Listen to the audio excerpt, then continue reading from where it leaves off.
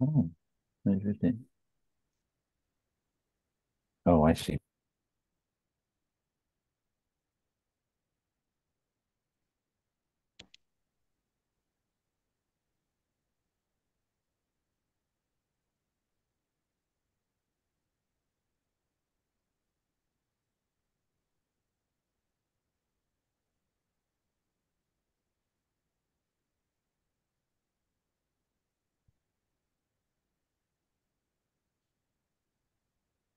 Okay, Mr. Marshall, uh, you're recording. You have a quorum. Amherst Media is with us here in the house. Your attendees are coming on in. I am, as we speak, about to also make you the co-host. I think you're good to go. All right. Thank you, Pam. You're welcome. Welcome to the Amherst Planning Board meeting of December 6th, 2023. My name is Doug Marshall, and as the chair of the Amherst Planning Board, I am calling this meeting to order at 6.37 p.m. This meeting is being recorded and is available live stream via Amherst Media. Minutes are being taken. Pursuant to Chapter 20 of the Acts of 2021 and extended by Chapter 2 of the Acts of 2023, this Planning Board meeting, including public hearings, will be conducted via remote means using the Zoom platform. The Zoom meeting link is accessible on the meeting agenda posted on the town website's calendar listing for this meeting, or go to the planning board webpage and click on the most recent agenda where the Zoom link is listed at the top of the page. No in-person attendance of the public is permitted. However, every effort will be made to ensure the public can adequately access the meeting in real time via technological means. In the event we are unable to do so for reasons of economic hardship or despite best efforts, we will post an audio or video recording, transcript, or other comprehensive record of proceedings as soon as possible after the meeting on the Town of Amherst website. Board members, I will do a, I will take a roll call. When I call your name, unmute yourself, answer affirmatively, and then return to mute. Bruce Coldham. Here. Fred Hartwell. Here. Jesse Major. Present. Janet McGowan. Here. Johanna Neumann. Here. Karen Winter. Here. And I, Doug Marshall, am in fact present. Board members, if technical issues arise, we may need to pause to fix the problem and then continue the meeting. If the discussion needs to pause, it will be noted in the minutes. Please use the raise hand function to ask a question or make a comment. I will see your request and call on you to speak. After speaking, remember to remute yourself. To the general public, the general public comment item in the agenda is reserved for public comment regarding items not specifically on tonight's agenda. Please be aware the board will not respond to comments during general public comment period. Public comment may also be heard at other times during the meeting when deemed appropriate by the planning board chair. If you wish to make a meeting, to, to make a comment by clicking the raise, if you wish to make a comment, uh, click the raise hand button when public comment is solicited.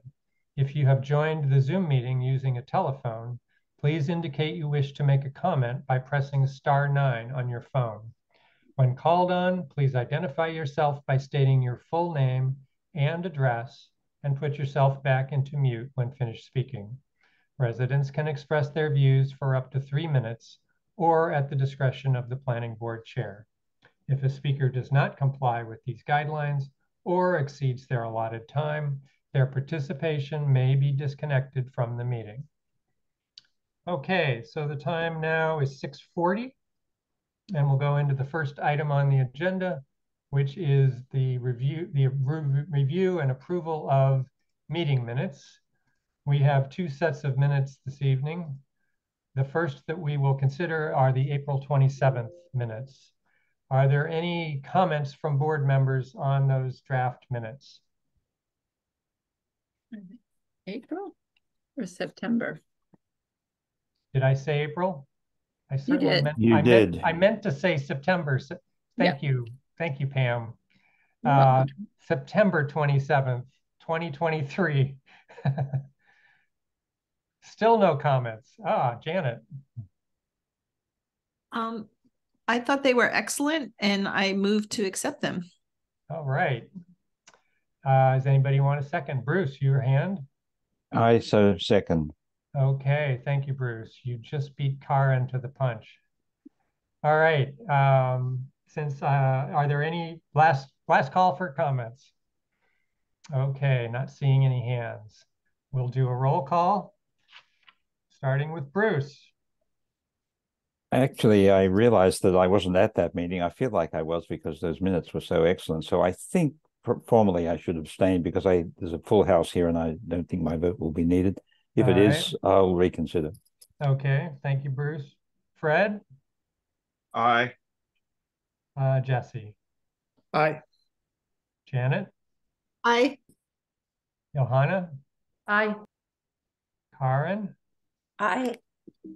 and I'm an I as well. That's six in favor, one abstention. Moving on to the November 1st minutes, 2023. Anybody have any comments on those other than that they were excellent? All right, I noticed that the type on those was smaller. Uh, so uh, they were, I think, uh, probably one of the longest sets of minutes I've seen in a while. So Chris and Pam, thank you for your diligence. Bruce? I move to uh, accept minutes as presented. All right, Jesse. A second. All right. All right, uh, last call for comments. All right, we'll go ahead with those, starting reverse alphabetical. Karen Aye. and Johanna, Aye. Janet, I, Jesse, Aye. Fred, Aye. Bruce, Aye. and I'm an I as well. That's unanimous, seven in favor. So that takes care of the minutes. All right. We will now have the public comment period. And I see 13 attendees in the attendees uh, section of Zoom, of the Zoom screen. Uh, at this time, I will read the names that I see on the screen. And then we will solicit anybody that wants to make a public comment. So while I'm reading the names, if anybody does want to make a comment, would you please uh, use the Zoom function to raise your hand? I see Bob Parent, Ellen Ann Salone, Eugene Gofredo, Farah Amin, Ginny Hamilton, Jess Schoendorf, Ken, Kent Farber, Maura Keene, Nate Malloy, Rachel Loeffler, Sharon Sherry, Tony Shao, and a what I guess is an anonymous Zoom user. And I suspect that many of these attendees are here for the library presentation. Uh, so, all right, last call for public comment.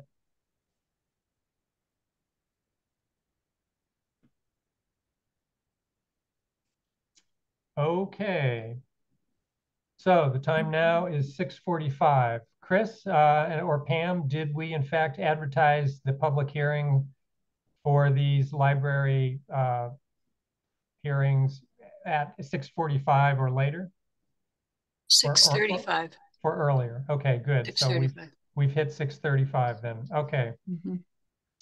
All right. In accordance with the provisions of Mass General Law, Chapter 40A, these public hearings have been duly advertised and notice thereof has been posted and is being held for the purpose of providing the opportunity for interested citizens to be heard. These public hearings are continued from November 15th, 2023, and are opened simultaneously for the purpose of discussion. So we have SPR 2024-02, Jones Library, 643 Amity Street, request site plan review approval to remove and replace 1993 addition with a new addition that meets current codes and improves accessibility and access under section 3.334 of the zoning bylaw in the BG General hmm. Business Zoning District, map 14A on parcel 36. The second uh, hearing is for um, PMSPP 2024-01. Same uh, entity, same address. Request special permit to continue and enlarge structure with existing non-conforming dimensional setbacks in accordance with section 9.22 of the zoning bylaw. Also in the same BG district on map 14A and parcel 36. And finally, SPP 2024-02, Jones Library 24 or 43 Amity Street, request special permit to extinguish the previous special permit FY90-07 pertaining to the 1993 edition proposed to be removed. Uh, also in the same BG district, map 14A and parcel 36. All of these are continued from November 15th. Uh, any board disclosure since uh, the last, since we originally opened these hearings? All right, in that case, uh, we will welcome Sharon Sherry and her design team. Welcome back. Hello, everybody. Thank you so much for having us. Can Pam, can I ask you to let in Ellen Anceloni? Yes, absolutely. Mm-hmm. And then I'm actually, I'm just going to turn it right over to Ellen once she joins us. She should be on her way. Yeah. Sorry about that, Sharon. No, totally fine. It's all good. Okay. Hi, Ellen. Um, if I, I thought that I would just turn it right over to you. Yes, that's fine. done. Yes, thank you. Thanks everybody for letting us come back to see you tonight. Uh, I missed last time we were here, but I'm all caught up to speed. Tony Chow's with me, and we have our fantastic um, landscape team uh, from Berkshire Design here. And we are going to um, address the questions that came up. Uh, we got from Christine, and we're going to do those one at a time. Um, and I'm going to let Tony kick it off. Tony, would you mind sharing your screen? Good to be with you all, and I'm going to share a screen and see if this comes up. And let me know if you see it. Yes, we do. Yes, perfect. Okay, great. So we are going to, as Ellen said, um, directly address the questions that arose from the last planning board meeting, and we're going to just go through uh, slide and point by point, and Rachel and I will sort of share this part of the presentation. So I'm just going to go right at this, and let me shrink the screen size a little bit. Um, okay. So the first um, question related to lighting, and there were some questions revolving around historic light fixtures and comments about them being shielded or dark sky compliant and potentially clary, and also does it adhere to town standards and as well as the planning board requirements and zoning bylaws. So I think this also is going to get at how we've addressed some of those questions, as well as the issue revolving around the selection of the light fixtures as well, um, and the rationale behind that. So uh, I know there's a lot of dense information on this slide, but I'm going to let Rachel sort of give the kind of overview, uh, as it were. Great, thanks, Tony. Um, so we have a lot of goals and priorities when it comes to lighting on the project, and some of them are inherently in conflict with each other. Um, so I'm going to outline those for you, what, how we were came out came to the plan we have. Um, one, it's it's a it's a trick in in site design is removing vertical barriers between the front the sidewalk and the main entry, or in this case, both sides, the north entry and the south entry. So as much as we can, we want to avoid having pole mounted lights really close to the building. Aesthetically, that that kind of says you're not welcome here. So um, the second goal is that we, um, it's really dark there now. It's really hard to see. Um, we've heard comments from lots of different groups and boards that especially the north side is really dark and security and safety is an issue. So we're trying to increase illumination to, to safe levels, but not too bright. Um, we also are trying very much to minimize glare and um, and overall light pollution to the night sky using full cutoff fixtures where possible. In the case of our other priority, that is a little challenging with when we use the historic fixtures on the historic facade. Um, and then we're using contemporary fixtures where it's appropriate to clarify that this is something new, like in the back. Um, but also in the case of the bollards in the front, the historical bollards actually do not cast enough light to meet our illumination standards. Um, so that's the case where we we opted for a more contemporary fixture, but we're placing it, we're nestling it in the bushes so that um, the visual appearance of it is sort of buffered by the bushes, but you still get that that good foot candle, that good lighting on the pathway so you can see. Um, and then also the other thing we're thinking about is, uh, I know the library staff is really um, challenged with maintenance, you know, as much as we can, trying to minimize maintenance. So anything that is vertical, really close to a sidewalk, like if it's right up against a sidewalk, that can be really hard with snow removal and um, mowing and things like that. So trying to pull pull fixtures out of out of those ways. Um, so in terms of the the zoning guidelines for the lighting, we are we're trying to not have any fixtures higher than they need to be. So we are using a 12 foot high pole mounted fixture in the parking lot. Um, we're using a 10 foot high pole mounted fixture in the way back um, of the north garden. And then everywhere else, we're using building mounted lighting um, or the bollards where we can't achieve lighting through those strategies. Um, all the lights are downcast. Um, that means that they're directing light down, except for a couple of the historical sconces that are on the front of the library.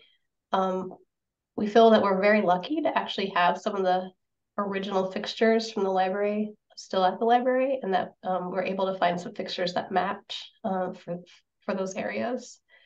Um, and then we're also really careful about choosing fixtures that touch the 1913 facade. Um, we don't want to introduce anything that's modern or contemporary on the facade touching it because that would that so really respect it. Um, so I think that's that's it for lighting. Do you want to talk more about the lighting, Tony? Yeah, I, I just reinforce uh, what Rachel said, and you know, just uh, as a reminder, the fixtures in particular um, are on the building are in this location. I don't know if you can see my mouse circling it, but at yeah. the front of the historic F1, F2s, uh, and generally all along here in threes and F4s. These are the ones that are really right engaging directly on the building. And to the upper right here in the um, image in this location, you know, this is a uh, reminder of what we were proposing. The F1 actually is the historic fixture that exists, um, as is the F4. So those will be retained, um, even though they do not, of course, currently comply with uh, local lighting um, standards. But because they're historic in nature, um, you know, we certainly believe they're appropriate and historic in some ways grandfathered in. And then the rest of the fixtures that are also proximic to that, such as F2, F3, F5. Um, these fixtures, again, are simply trying to, like um, F2 and F4, excuse me, and F3 are trying to all play in the same language as these historic fixtures uh, that are shown in F1, F4, F5. So I think that, again, we were trying to be in keeping with the spirit and character of those fixtures on the historic part, uh, was uh, looking to really use the design and image of those fixtures to really complement these historic fixtures. And then everything else, as Rachel mentioned, with respect to the rest of the fixtures, such as the bollard lighting, which is located here. And as a reminder, these are the um, some of the images that previously were shown uh, basically illustrate that most of them are very discreet. A lot of them, in fact, are really almost um, I wouldn't say hidden, but they're really embedded in the landscape. So it would be very uh, understated, as also will be some of the under uh, seat lighting at the at some of the areas under the bench.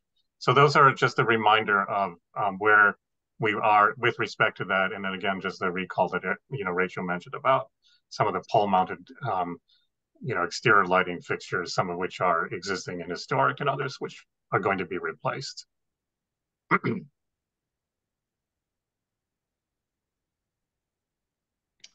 All right, uh, questions about lighting from the board?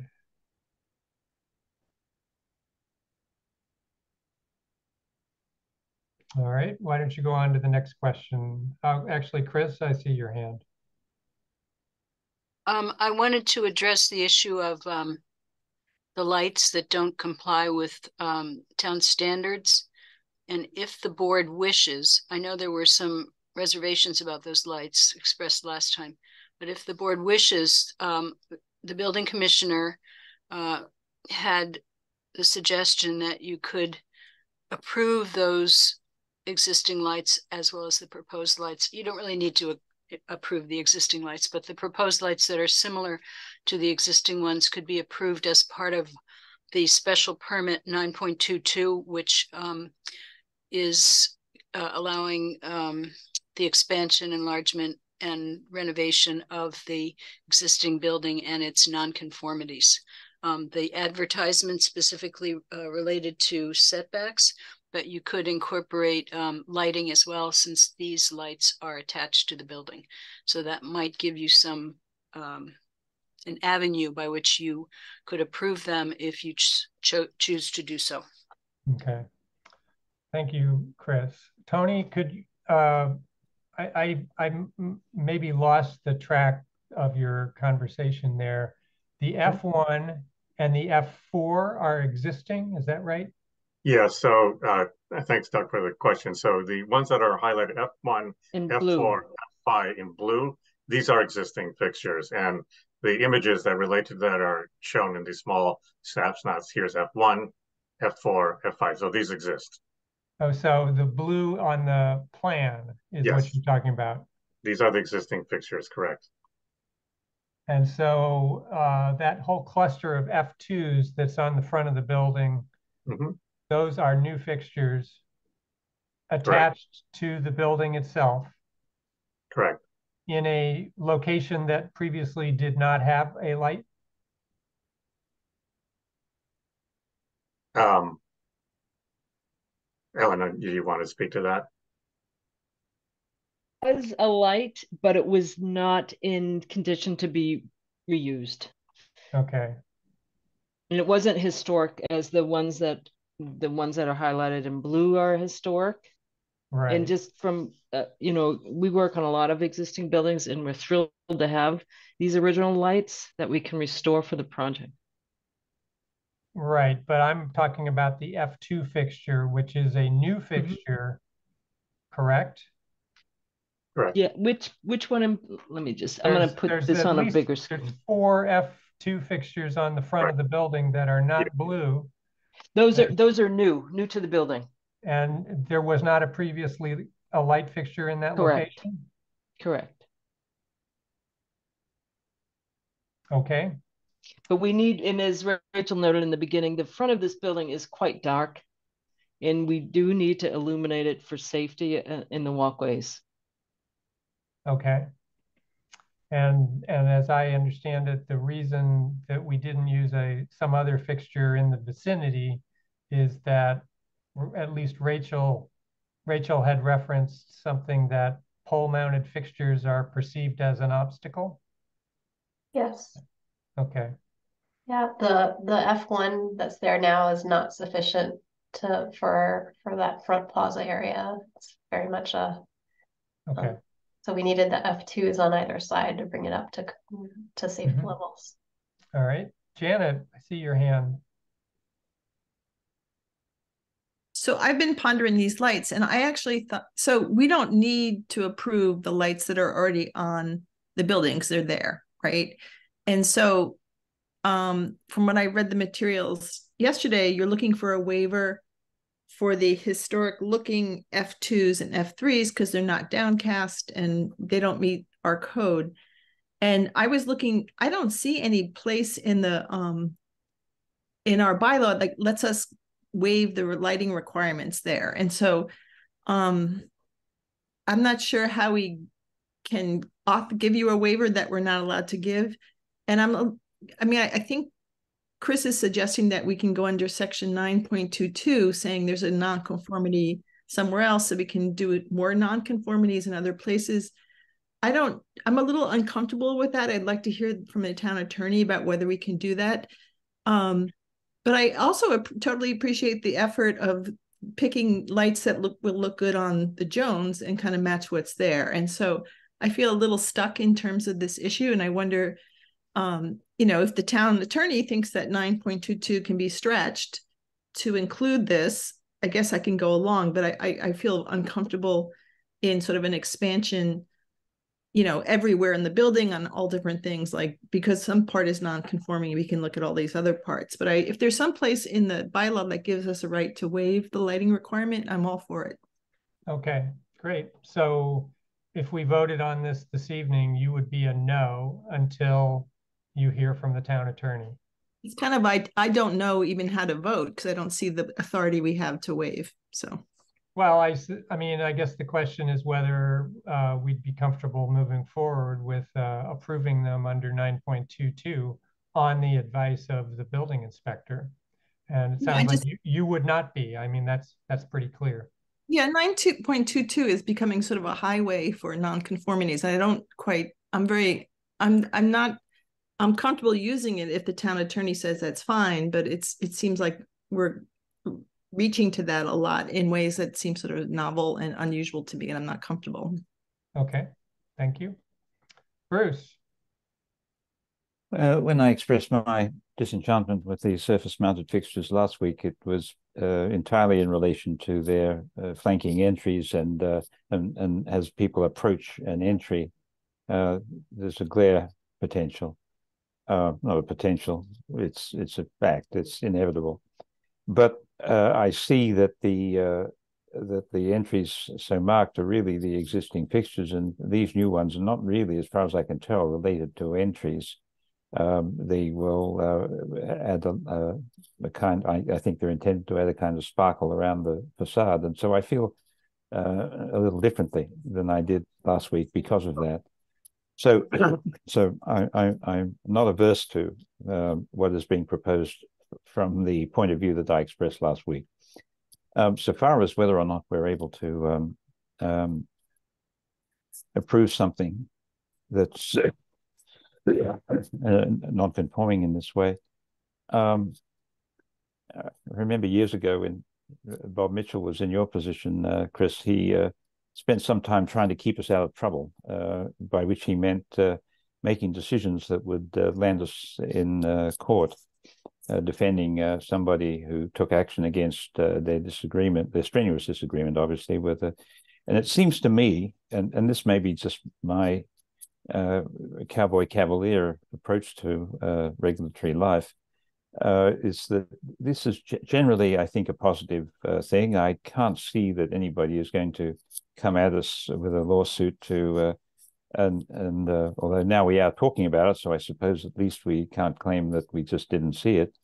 But I don't think that this rise. This seems to be such a minor point that that I would certainly uh, if we feel we need to go by making some special uh, accommodation for nonconformity, I would even be comfortable just kind of ignoring it.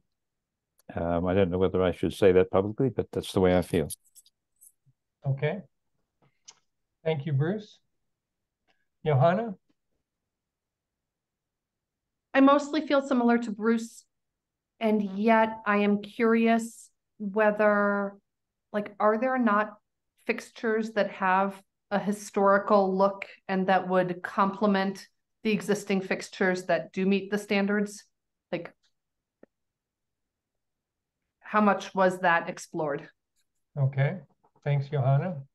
Yeah, I guess maybe we should ask the applicant for that. I mean, I can imagine that maybe the uh, upper half of some of these globes might be coated with a you know, opaque white or something to keep the light from going up. So what kind of investigations were there for that?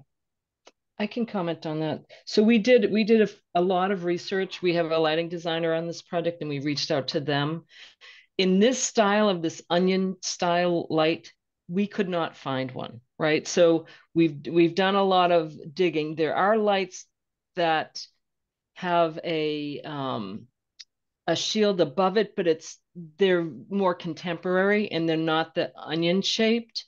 Um, and we've explored the option of can we paint, you know, the glass. Um, in that we would void the warranty of the glass in the fixture. So we did we did a fair amount of digging around and, could, we're not successful in finding one of these types of lights that is shielded, unfortunately. Okay. Um, at least for the F2 and F3 fixtures that are along the southern facade, um, you know, are are are they i guess there's the f2s that are on the that are closest to the walk that goes east and west. Are they providing illumination for the walkway? And then the f2s and f3s that are a little bit further back um, yeah such as those tony um, are they just providing sort of general illumination or are they also related to walkways? I guess there is a walkway there on the west side, and the one on the east side is associated with that service entrance. Is that right? Yeah. I can speak to that. The the F2s on the front or flanking the F1 are, were essential to bring up the foot candles for safety. And the F2 to the west of that and the F3s where the child that's the children's courtyard area so if there were events in one of these shoulder seasons where it gets dark, but maybe it's still warm enough to have an event outside, um, that's what the F2 and the F3 are for. Um, and the little and the F2 on the very west of the building is also helping with that emergency egress walk on the west side. Uh-huh. And and could I mean I guess modern versus historic appearances aside, could that illumination be provided by the same kind of bollard you're using elsewhere? Um, I think it would be a very different, different type of light. Um, I, I think I think it'd be a very different type of light. You by that you mean you would not use a bollard you would do something else? Or just the quality of the light of using a bollard would be very different? I think the bollard would not be what you want in the courtyard area for uh-huh. for for safety. Okay. So you're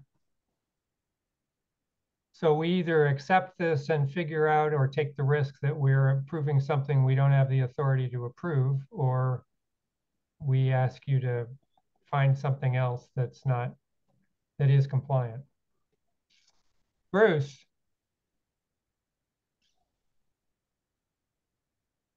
Oh, sorry. Janet. So you know, from what I've been reading um, in terms of the papers we got yesterday, and I haven't had a chance to read the papers we got today, except for a quick glance at lunch.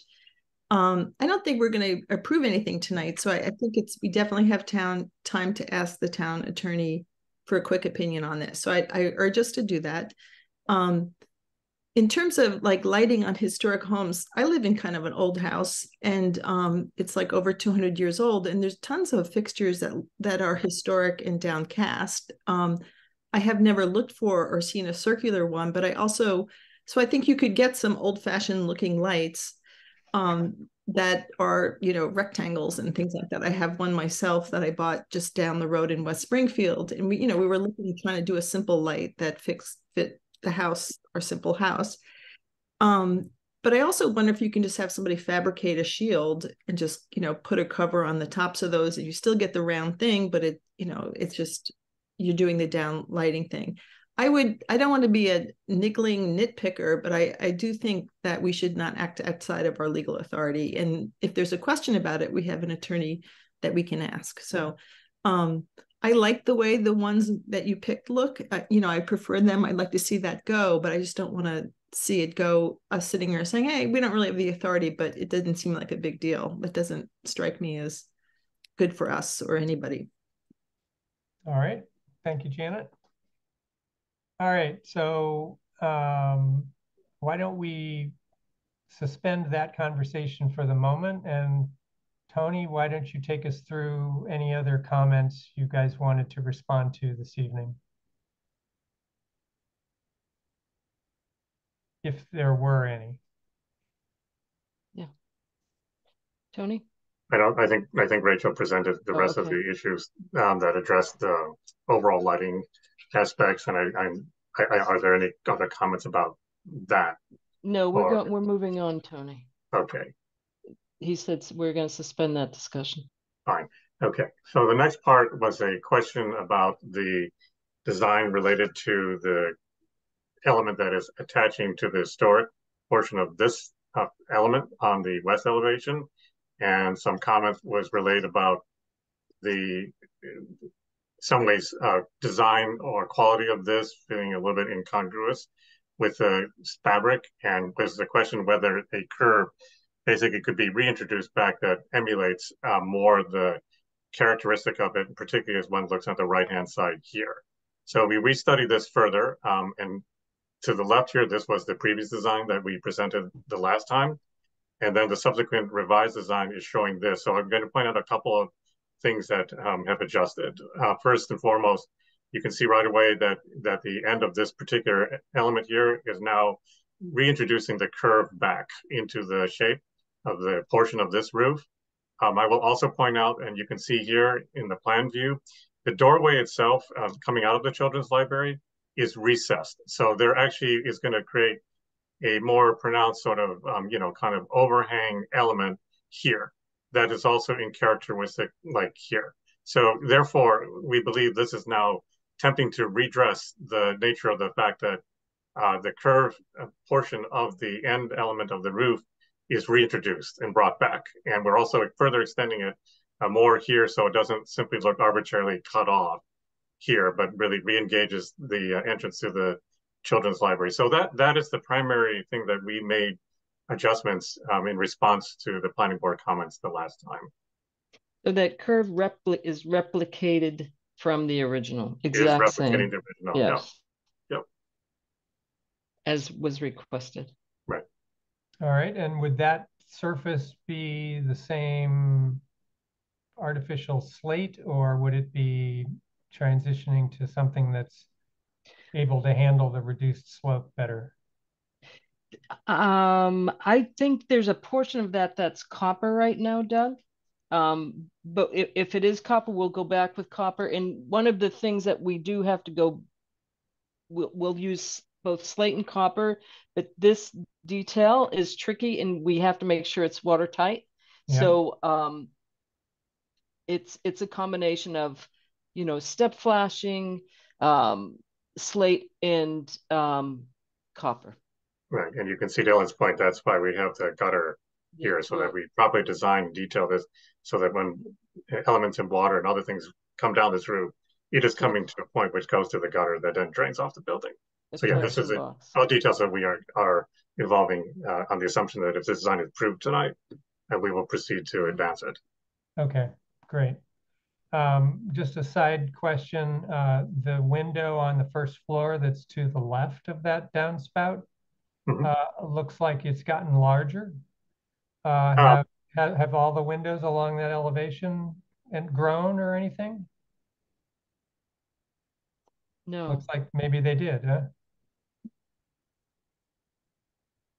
No, I I believe- think they, go ahead, Tony. I think what what what has happened in the earlier design iteration here, um, we when we began to re- this is at a much earlier stage in the project, and as we've been working through our construction documents, from a technical standpoint, we've had to resolve issues revolving around floor levels and you know how far the windows off the floor and ceiling height adjustments. All these things, as a result, these are this is even though the design looks very similar, it's a much more advanced level of design detailing. So it has resulted, you are correct, Doug, in a proportional shift. And one of the other things that's driving that too is that we were in some ways creating a, a better alignment on the windows across the entire facade. There was a disconnect between the scale of the windows on this element and what we propose on this. So once we begin to really refine in our current design, we really begin to hone in on proportional issues. And, and we do think that in some respect, at least from a proportional standpoint, it is it is a better proportion, um, even when one views,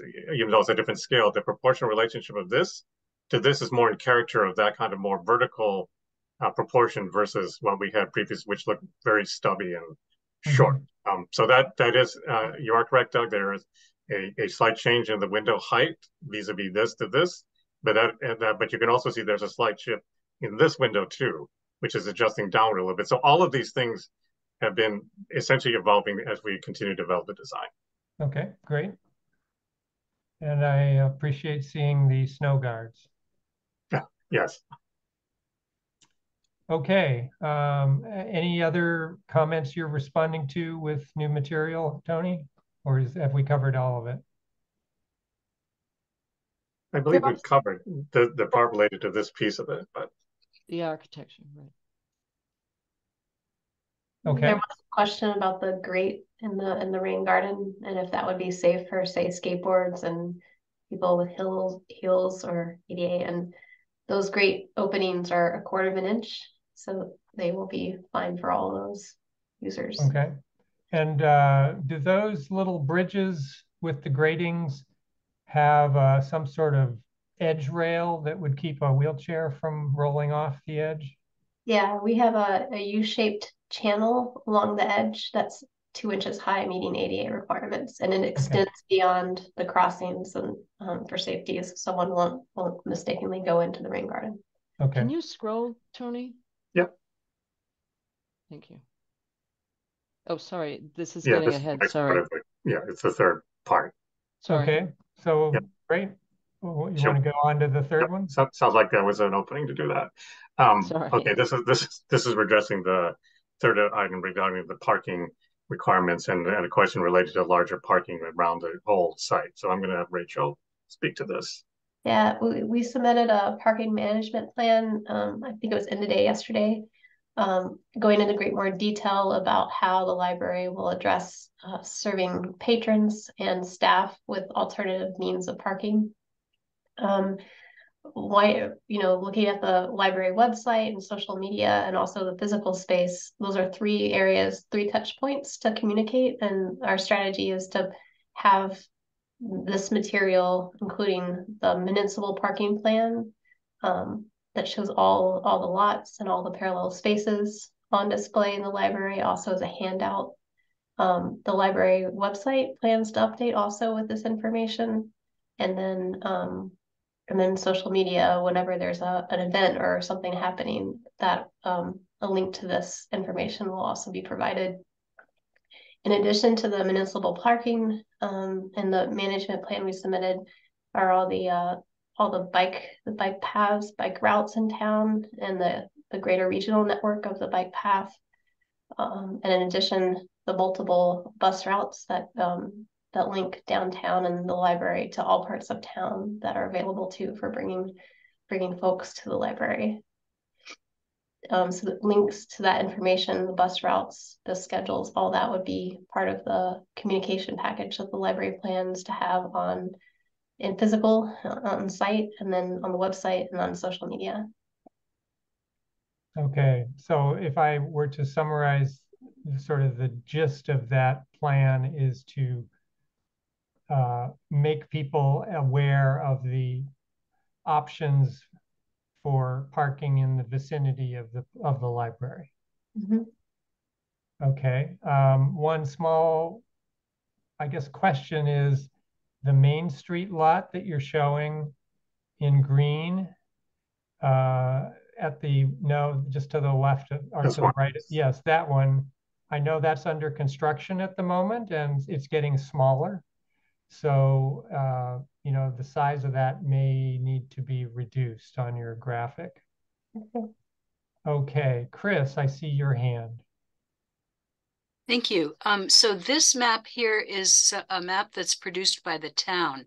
Oh. And this map is something that I sent to the applicants because it's the map that is the most instructive about where parking is in town.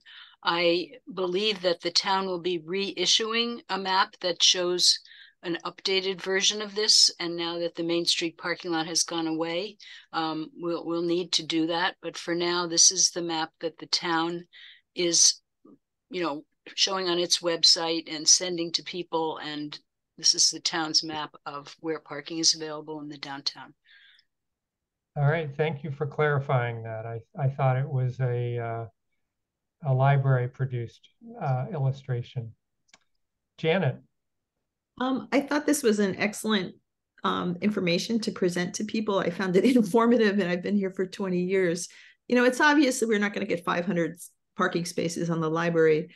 Um, I also thought maybe you could add on these the parking materials that after five o'clock, anyone can park in permit parking spaces because there's tons of spaces all around town that are available after five o'clock. And you know, a lot of people don't know that. And I, I think that would just be another piece of information that you can be in permit parking after five because it's there's permit parking steps away from the entrance to the Jones. All right, great. And sounds like that comment actually ought to go to Chris and the town when you next update your map. Uh, all right, um, Tony, you want to go on to the next item? Sure. And again, I'm going to let Rachel speak to these slides. Yeah, so there's, um, as Tony was mentioning, we've been going through the process of refining refining drawings. Um, and one one change to our logistics plan that we wanted to uh, make everyone aware of is that we've removed the access that we previously showed on the north side of the property. So we're no longer allowing access to the CVS parking lot. Um, that area will be closed with a solid construction fence. Um, and we'll have signage on the outside letting folks know that it is a construction area and the sidewalk is closed.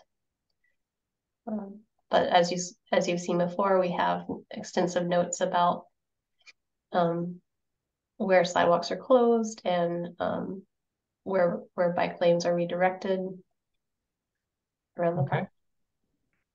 All right.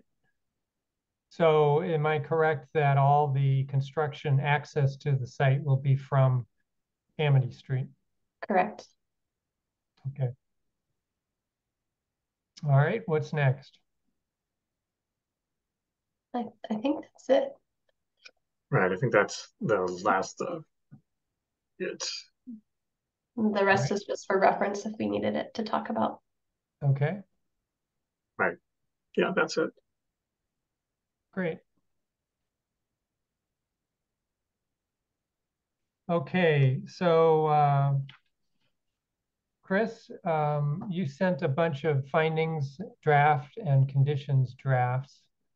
Um, uh, I, I kind of assumed it was your hope that we would go through those and maybe approve those this evening. Um, including the waivers that were requested and uh, anything else. So uh, would you mind uh, sharing your hopes for the evening? Do you want me to stop screen sharing, Doug? Yeah, I think point? you could, Tony, for the moment. Okay, Thank you. No problem. Doug, could Yes, Janet? could I ask a question about where the um during construction where machines are going to be stored or materials? Is that part of the logistics or is it- Sure, sure. If it's a, yeah, go ahead. that's my question. Are So you going to? may I answer that? Okay, Yeah. Um, I have had a long discussion with um, the building commissioner and also with Bob Parent, who is the capital projects coordinator. And many of those things won't be resolved until the general contractor is brought on board. But um, we have developed some conditions, and you may not have seen them because you said you weren't able to read all the materials that I sent today, but we can go through them. So we've developed some conditions to um, help the town deal with those issues of where does uh, staging happen, where is material stored, where do contractors park, where does construction equipment sit when it's not being used, et cetera. And one thing I wanted to let you know is that um, the construction logistics plan that has been presented for now is the architects and and the town's kind of best guess about how things are going to work. But when the uh, general contractor is brought on board, then that contractor will come up with his own uh, construction logistics plan, and he will present that to a group of um, town staff people, including the building commissioner, and talk about it and work it out. And it will be, it will include the town engineer and the superintendent of public works. So many of the details and the final consideration of those things will be worked out. But I think we've developed um, conditions that say what we don't want. And we are hoping that the planning board will go through those conditions and see if you agree with what we've you know suggested could be conditions to deal with these issues so so, so on, my five years on the board i've never seen that. You know we've always known where people are going to park. We know when you know all that kind of stuff. Like when mr Oblowski had his project we knew the construction was going to be at the machines were going to be at vfw when 11 east pleasant there was a they had the um proponents had an adjoining lot and there was a lot of discussion about how Pray Street would be used and, and things like that. And so I'm a little so I'm a little I so I'm concerned about that. And so I'm wondering is there any chance that the town lot next to the CVS would be used for that because it seems like you know all the construction equipment or the supplies would have to come in through um, Coles Lane and come out through North Prospect, and then you'd have to cross the CVS lot to get there. And if you don't have permission for that, so is that off the table? Because I, I think that, you know, the VFW seems to make sense to me. You can just stash everybody there and they can move their machines up as they want. But if the town lot is at, at being used, I think there's a lot of logistical problems, and I, I'd want to know that now. And it doesn't seem like something that it seems like it could be worked out now if it can't be worked out, I think it's an issue that should come. You know, there are so many things in the um, proposed draft permits about like, oh yeah, later we'll hear that and we'll decide that. I've just never seen us do that. It's usually we're getting opinions and you know ideas, and we're looking at the whole project and making sure the whole thing is going to work. So, is the town lot next to CVS just off the table? Because I think that's like a whole can of worms um, that I think we need to talk through. Chris? For now, it's off the table. Yeah, I mean, I mean, to some degree, I guess my reaction, Janet, is that uh, the the projects you cited were private developers. John Robleski owned the lot next door, had control of it. Um, Archipelago owned the, where the pub was, had control of that had worked out easements. And this, this owner uh, is a different kind of entity and doesn't own adjacent lots that it can promise. Um, you know, I, I, I mean, I'm not going to put words in the applicant's mouth, but I suspect the CVS lot came off the table in terms of the illustration because they don't want to uh, essentially promise contractors that that would be available. Um, and that if a contractor wants to make a deal with the CVS lot owner, that can be part of their, you know, their bid, and that would enable them to maybe reduce their costs.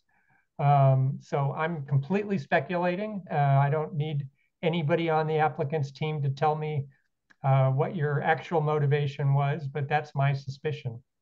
Um, and this is a different, I mean, it's very common to have preliminary construction logistics drawings in a bid set that that that lay out again kind of what was described the architects and maybe the owners uh, you know uh, speculation for how you might do it with uh, what resources are available from those two entities to enable the to help the contractor. And there aren't a lot of resources right here that the town can offer. So I think that's why it's shown, you know, pretty limited.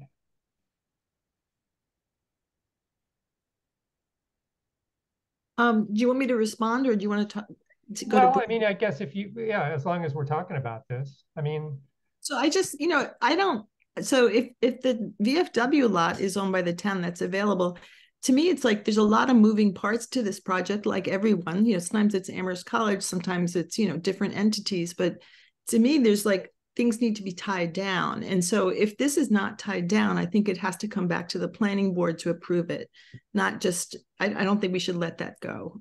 Um, because that's kind of our job. It's like we we collect opinions from the fire chief and all the different you know, design review board, disability access board, and then we're looking at the pro- product project as a whole and and making the conditions. And that's kind of what we. So I just I just thought this Well, was a thing I don't open. know, I guess I would say that we, I mean, it's, it's quite clear from that drawing what resources are available to the contractor. It actually wasn't super clear to me, and that was what I hope we Really? were talk about because I, you know, I was like looking at my computer and I wasn't quite sure. Like so, Well, so that's like it, it's, it's the, it's the lot inside the construction fence. And then, and then it sounds like the town staff, I suppose, has, have agreed to make so- a portion of the sidewalk and parking, parallel parking in front of the, the library available for access.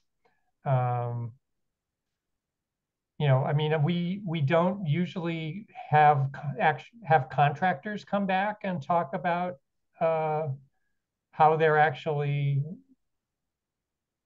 feeding the lot or, you know, managing construction. no, I'm not. I'm. Is, are they going to store machines in those areas like overnight? That that's what I've always. Well, I mean, different contractors may have different approaches.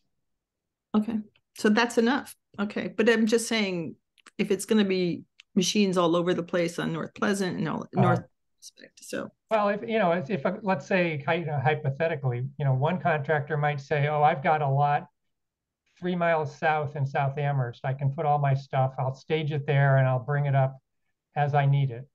And another one might, might, might go to half a dozen hou- housing, houses just down Amity Street and say, hey, I want to park in your driveway and that's how I'll feed the lot. You know, we don't know how people are going to do it. And, and it'll have different cost implications for all of them, for each of them, in terms of how their bid comes in. Doug? Okay, Bruce, you want to put in your two cents or you want to change the subject? No, I, uh, first of all, we should see what that fraction of the draft conditions looks like, because uh, Chris has already said that they've addressed this. It's just that it's not definitive. And I don't share Janet's concern at all. Um, in fact, I would be concerned if we tried to do differently.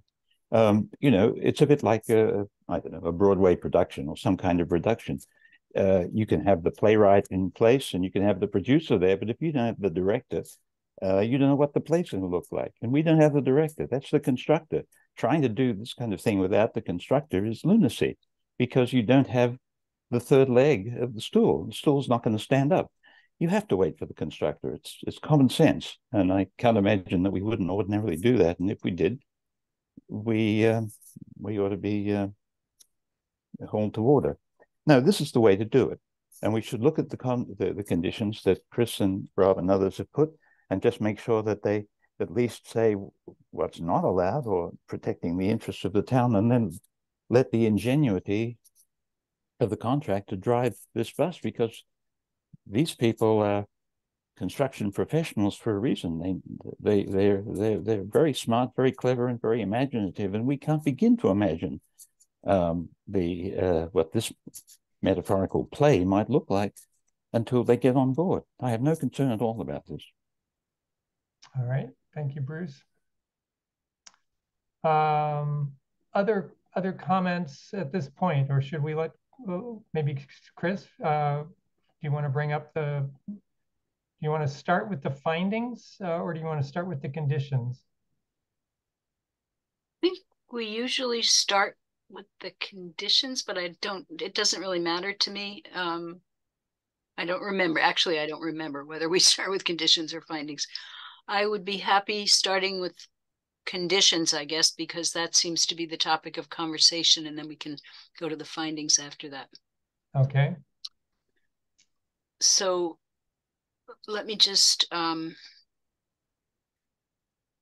well, I won't even say that. No. Okay, so let's read through the conditions and we can edit them as they uh, come along. And we do have Bob Parent in the audience as uh, an attendee, so he may have some um, ideas or, you know, um, answers if people have questions. Um, so I'll start reading and we'll see how long my voice holds out. And then maybe one of the other uh, members of this group could pick up with reading if I start to fail or cough, because I do seem to be getting a cough. All right. Anyway. Chris, um, yeah, we'll be happy to do that. Okay, so um, the first conditions are the general ones.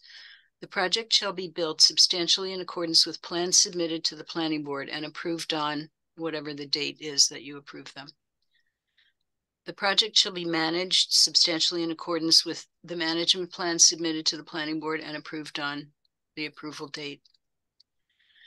Substantial, does Bruce have a question about these or does his hand Well, just? let's what Um, Bruce has. Ju- Just a, a, a- a small point. It, it's not small to an architect, but it, uh, but it might be to others. But plans is, I would say, documents is the more all-encompassing words. Okay, that's a good idea. Yep. Let me get my paper copy of this documents. Thank you. Thank you, Um, Bruce. substantial this is number three, substantial changes to the project and or substantial changes to any approved site plans or to the exterior of the building shall be submitted to the planning board for its review and approval prior to the work taking place. The purpose of the submittal shall be for the planning board to approve the change and or to determine whether the changes are de minimis or significant enough to require modification of the special permit or site plan review approval. That's kind of a standard one. These first three are pretty standard, as is the fourth one.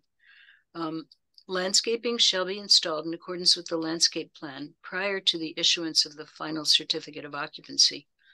And once installed, shall be continually maintained as needed. All disturbed areas shall be loamed and seeded unless otherwise specified.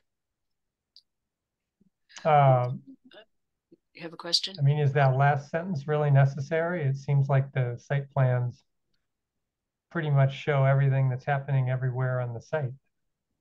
Is this just sort of, if you forgot something, you need to put grass on it? Sort of boilerplate, yeah. All right, go ahead. Number five, this site plan review approval shall expire within two years of the date that it is filed with the town clerk unless, unless it has been both recorded at the registry of deeds and substantial construction or use has commenced within the two-year time period. Okay. Um, yeah, number six, all work associated with the project shall be completed with, within thirty months from the date of issuance of the building permit. If more time is needed, the applicant shall come before the planning board at a public meeting for review and approval of a construction and completion schedule for an extension of time. Number seven, the principal use shall remain a not-for-profit library. Okay, that's the end of the con- general ones. Um, now we're going into the building exterior and site improvements.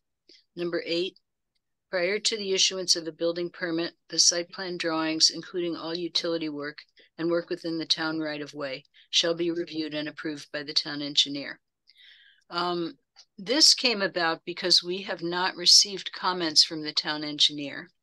And that is for a couple of reasons. One is that he received the drawings that were submitted, the drawings and documents that were submitted in September. And he um, was about to review them. And then we became aware that there are changes that, that are kind of happening as we speak. So um, the building commissioner and I put our heads together and we decided that um, there could be a condition in this permit that would allow the town engineer to make his review um, before the building permit is issued, uh, knowing that the town engineer has been part of meetings all along as this project has developed. So he's aware of all of the issues, all the drainage issues, all the sewer, water, uh, site work issues. And um, we didn't feel that it was uh, reasonable to have him review and comment on the set of plans that was submitted in September, knowing that there were changes. Now, the changes are not related to the surface of the site. The changes are related to underground utilities. And um, Rachel gave me some ideas of what those were about. And mostly it's things having to do with sizes of pipes and um, the size of the stormwater detention area in the rear of the building, um, things like that, that the town engineer needs to look at carefully, but they're not things that the planning board normally um, has a lot to say about. It's all underground. So we felt comfortable with putting this condition in here, and I hope that you do too, and I encourage you to um, consider it. So, Chris, uh, I guess it occurs to me that one sentence before the, what you've drafted might be useful. Uh, something to the effect that the uh, the surface features of the site shall be uh, constructed in accordance with the plans submitted to the planning board, which limits the change. So, so that addition would limit the uh, site in the, the town engineer to, uh, you know, approving adjustments to things that are below ground.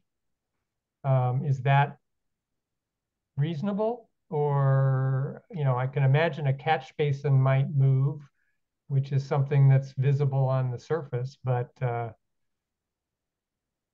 you know, everything if everything else is below underground, then you're right. We usually don't worry too much about it as long as the town engineer is okay. I do see your hand, Janet.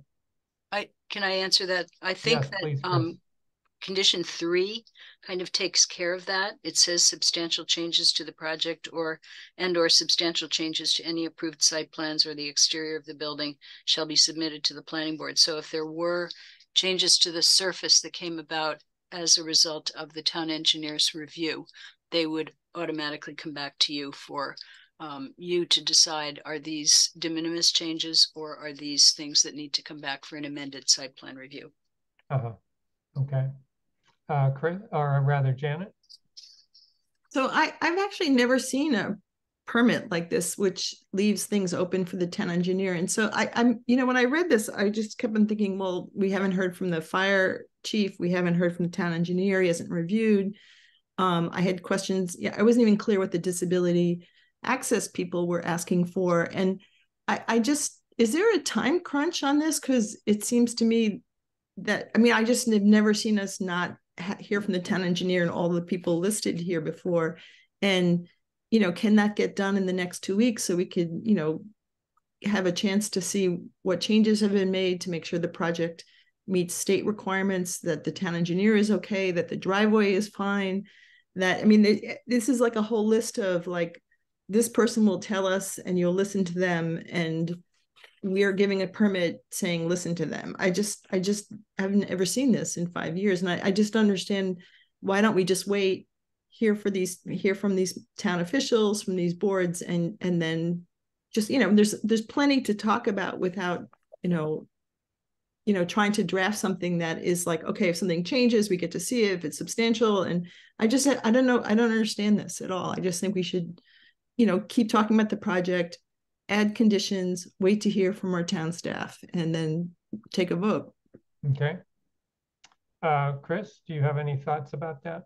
Yeah, there have been cases in the past, and I can think of at least two um, where the planning board or, uh, or, the zoning board of appeals approved um, a set of plans, and then they went back later for review and approval by the town engineer, specifically with regard to drainage, but also with regard to other things. So Kendrick Place up in North Amherst, which is at the tip of Triangle Street and East Pleasant Street, was one of those cases where the town engineer reviewed the stormwater management um, proposal after the planning board uh, made its approval. The other one was um, Aspen Heights. Uh, Aspen Heights is down in the valley. It's a kind of a strange name for something down in the valley. But anyway, it's um, the, the development at 408 Northampton Road, which is just on the border of Hadley. And that's another one where um, the zoning board of appeals approved the project, but there were still uh, reviews that needed to be done by the town engineer. And that went, you know, the project went well during construction and there weren't any issues. So we feel that it's um, a reasonable thing to do. And Is- this was a suggestion of the building commissioner.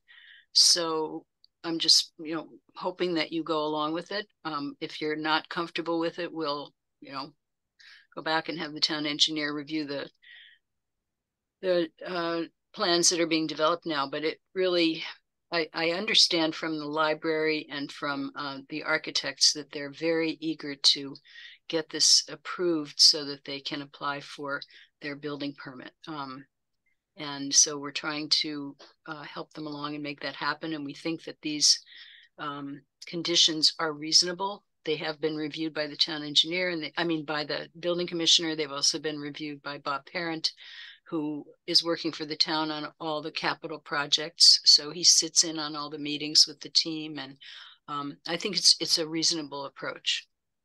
So Okay. there is no rush. It's just there's no like reason to rush other than they want to get a building permit quickly, but they're they still have to go out to bid. So I, I just wonder if they can we can wait a few weeks and have all our ducks in order and things like that. I feel much more comfortable with that. Um, you know, I also think there's issues with the strong house and it's a really tight site. So maybe moving an underground thing is going to change or affect something else. And I just anyway, so I've said enough. Okay. Uh, thanks, Janet. Uh, I guess at this point, given Janet's concerns, uh, are there other board members who feel the same way? Uh, and if not, then I would conclude that the majority of the board would like to continue going through these conditions and and then the findings. All right, I don't see any other hands. So Chris, why don't you continue if, if you're able uh, with the draft conditions? Okay, I think we were on condition nine. The final stormwater management system design and stormwater drainage report shall be submitted to the town engineer for review and approval prior to the issuance of a building permit and shall include pre-construction and post-construction stormwater runoff and stormwater volume calculations based upon soil testing results prepared and stamped by a licensed professional engineer. Number 10, the review of the final stormwater management system and required materials shall confirm that there shall be no increase in rate of stormwater flow caused by the project post-construction when compared to pre-construction conditions, and that the stormwater management system is designed in conformance with the DEP stormwater management standards and technical specifications. Both conditions nine and 10 were taken from the Aspen Heights Zoning Board of Appeals decision. Um, number 11, prior to the issuance of the building permit, the site plan drawings shall be reviewed and approved by the fire chief or his designated representative. Again, Chris Bascom, who is the captain in the fire department, who's in charge of safety and um, fire protection, fire for fire safety, um, has been sitting in on a lot of these meetings with the team, the design team, and has been following this project. He, he has not submitted um, comments to the planning board um, but he has been he is very aware of the design and what's been going on with it. Number 12, the town engineer and building commissioner shall inspect the construction of the entry driveway and all on-site paved areas for conformance to town standards. Number 13, all on-site utilities shall be underground. Number 14, unless otherwise approved, with the exception of traditional wall-mounted fixtures that were chosen to match or be compatible with existing figures, fixtures, all exterior lighting shall be dark sky compliant and shall be downcast, shielded, and shall not shine onto adjacent properties or streets. Is there more to be said about that one? Why do don't we, uh. I mean, You want to flag it and come back to it later? yeah, well, I mean, I guess uh, we did put this aside and uh, Janet, I know you had some concerns.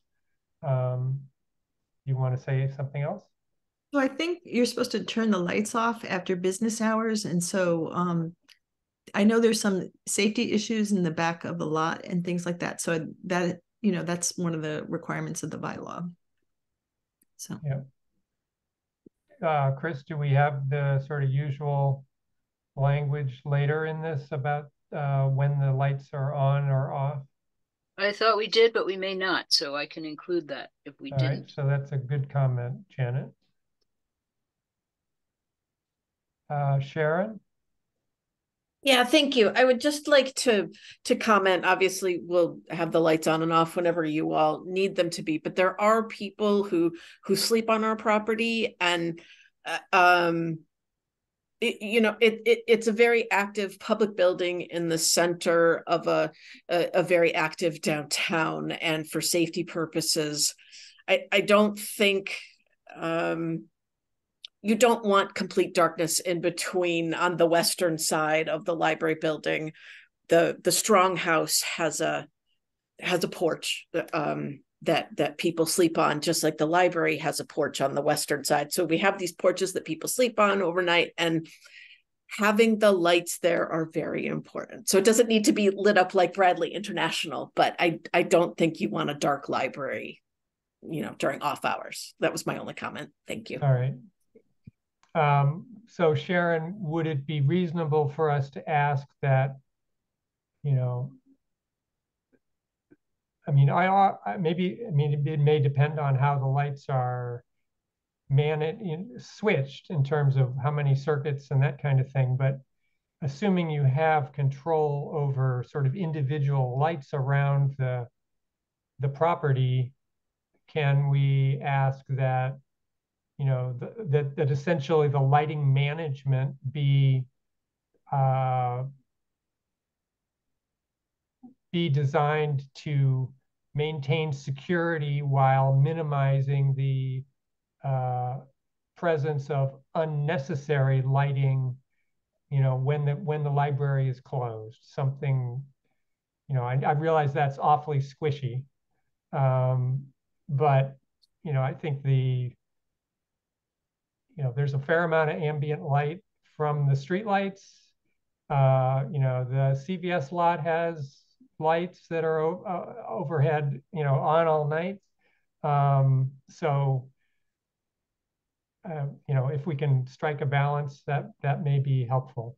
Yeah, I really, I really appreciate the squish.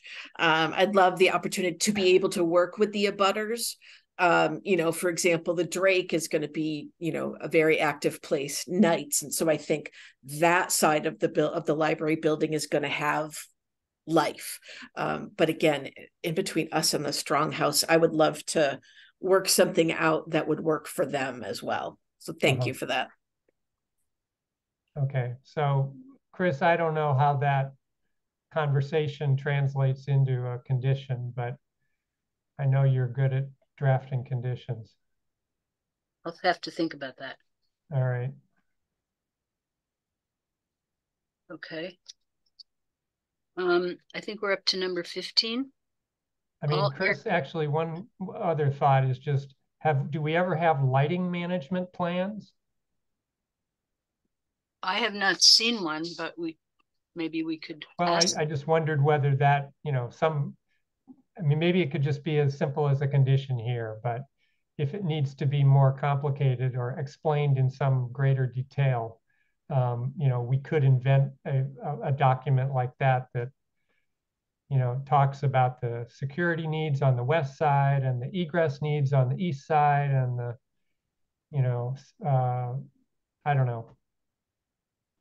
We could ask the architect, uh, landscape architect, excuse me, if that's something that um, they could provide, and we could put that in as a condition that they provide a, a yeah. lighting management plan that comes back to you for review and approval at a later date.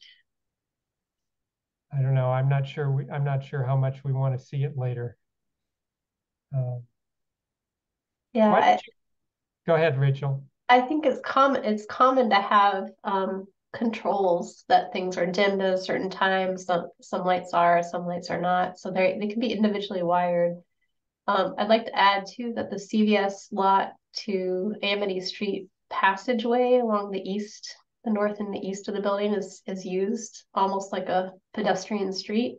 Mhm. Um, so that is also another area that may be beneficial to have lighting even after library hours because that is more of a public way. Uh, Janet? So it seems to me that, you know, when you have events at night, there's certain light, you want all your lights on, or if you have events in the back, you want all your lights on. And then what you turn off are the ones you don't need for the event, and you just had the ones for security. And so that doesn't seem like that'd be so hard to work out. Um, you know, and you know, with the Emily Dickinson house, I think they were doing some kind of architectural lighting, but they were going to turn it off at 11, you know, mostly you know, and then they would you could do lighting for their events, but also there was a concern about like animals and it, you know the changes and things like that. So I think um, you know you could probably figure out pretty easily, you know, what lights you need for walkways and bollards, or you know, to illuminate your outdoor spaces for events and then what those could go off and then the ones you need for safety or you know illuminating because i do think it's a very dark area and people do cut through it but i don't think you need all your backlights on and stuff like that. So i think that you could probably figure out a plan pretty quickly. All right, so Chris, um, why don't you see if you can draft some sort of, of condition that, you know, just says we want to have the lighting, uh, you know, have have reasonable control of the different zones around the building, uh, and and that the illumination after business hours should uh, meet the needs for security through the site, but uh, not not not as not not excessive or you know less than is probably needed during business hours. Mm-hmm.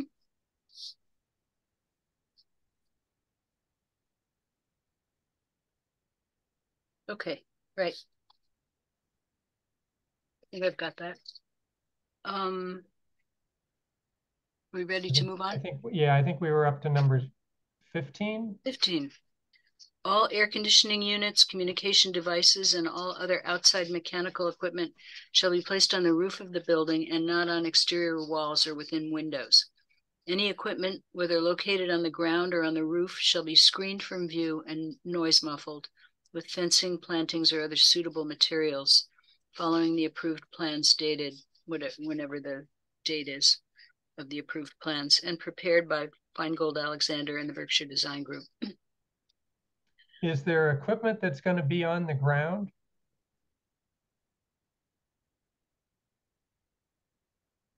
I mean, the second sentence suggests there might be stuff on the ground, and the first sentence says everything has to be on the roof. So, There'll I be don't know. nothing on the ground. I think Christine's just covering all the bases, just in case. okay. Bruce?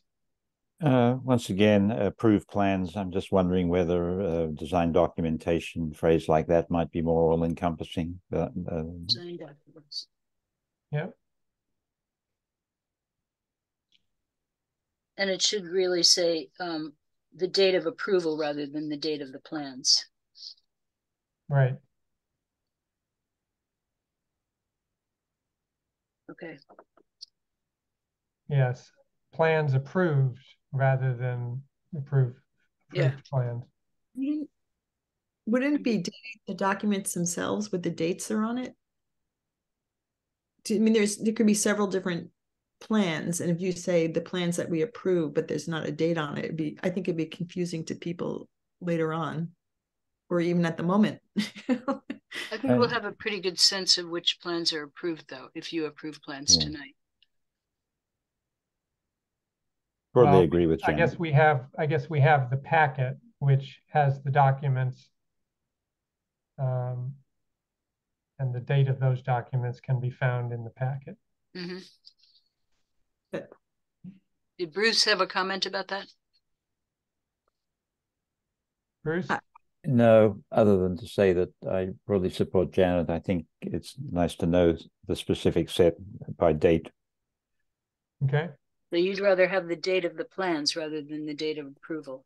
I, I would expect so, yes. Okay, I mean, Chris, you probably could put both dates in if you wanted. great. Alrighty, That would be cover all the bases. Number sixteen, all utility work and work within the public right of way shall be conducted following the regulations and permits of the town of Amherst. Number seventeen, all work within the town right of way shall be reviewed and approved by town council prior to the issuance of a permit. I don't know why it says that, of a permit and the start of work. It says permit building, it should say building permit. Is Um, there, I'm sorry, Bruce, I'm sorry, Yes, Janet? Is there a, di- am I reading a different document? Is this, a- I have one that's dated twelve five twenty-three.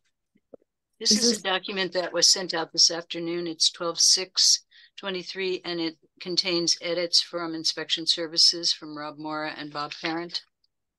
Oh, So, okay. That's why I'm confused, okay. All right, thanks, Janet. Fred?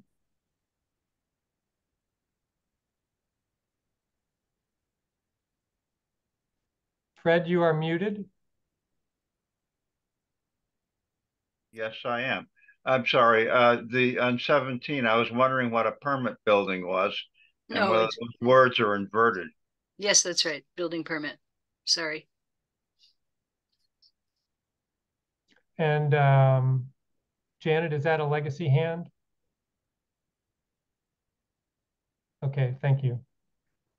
Um, and, and Chris, uh, is it not true that we all, that town council always needs to approve uh, work within the town right away?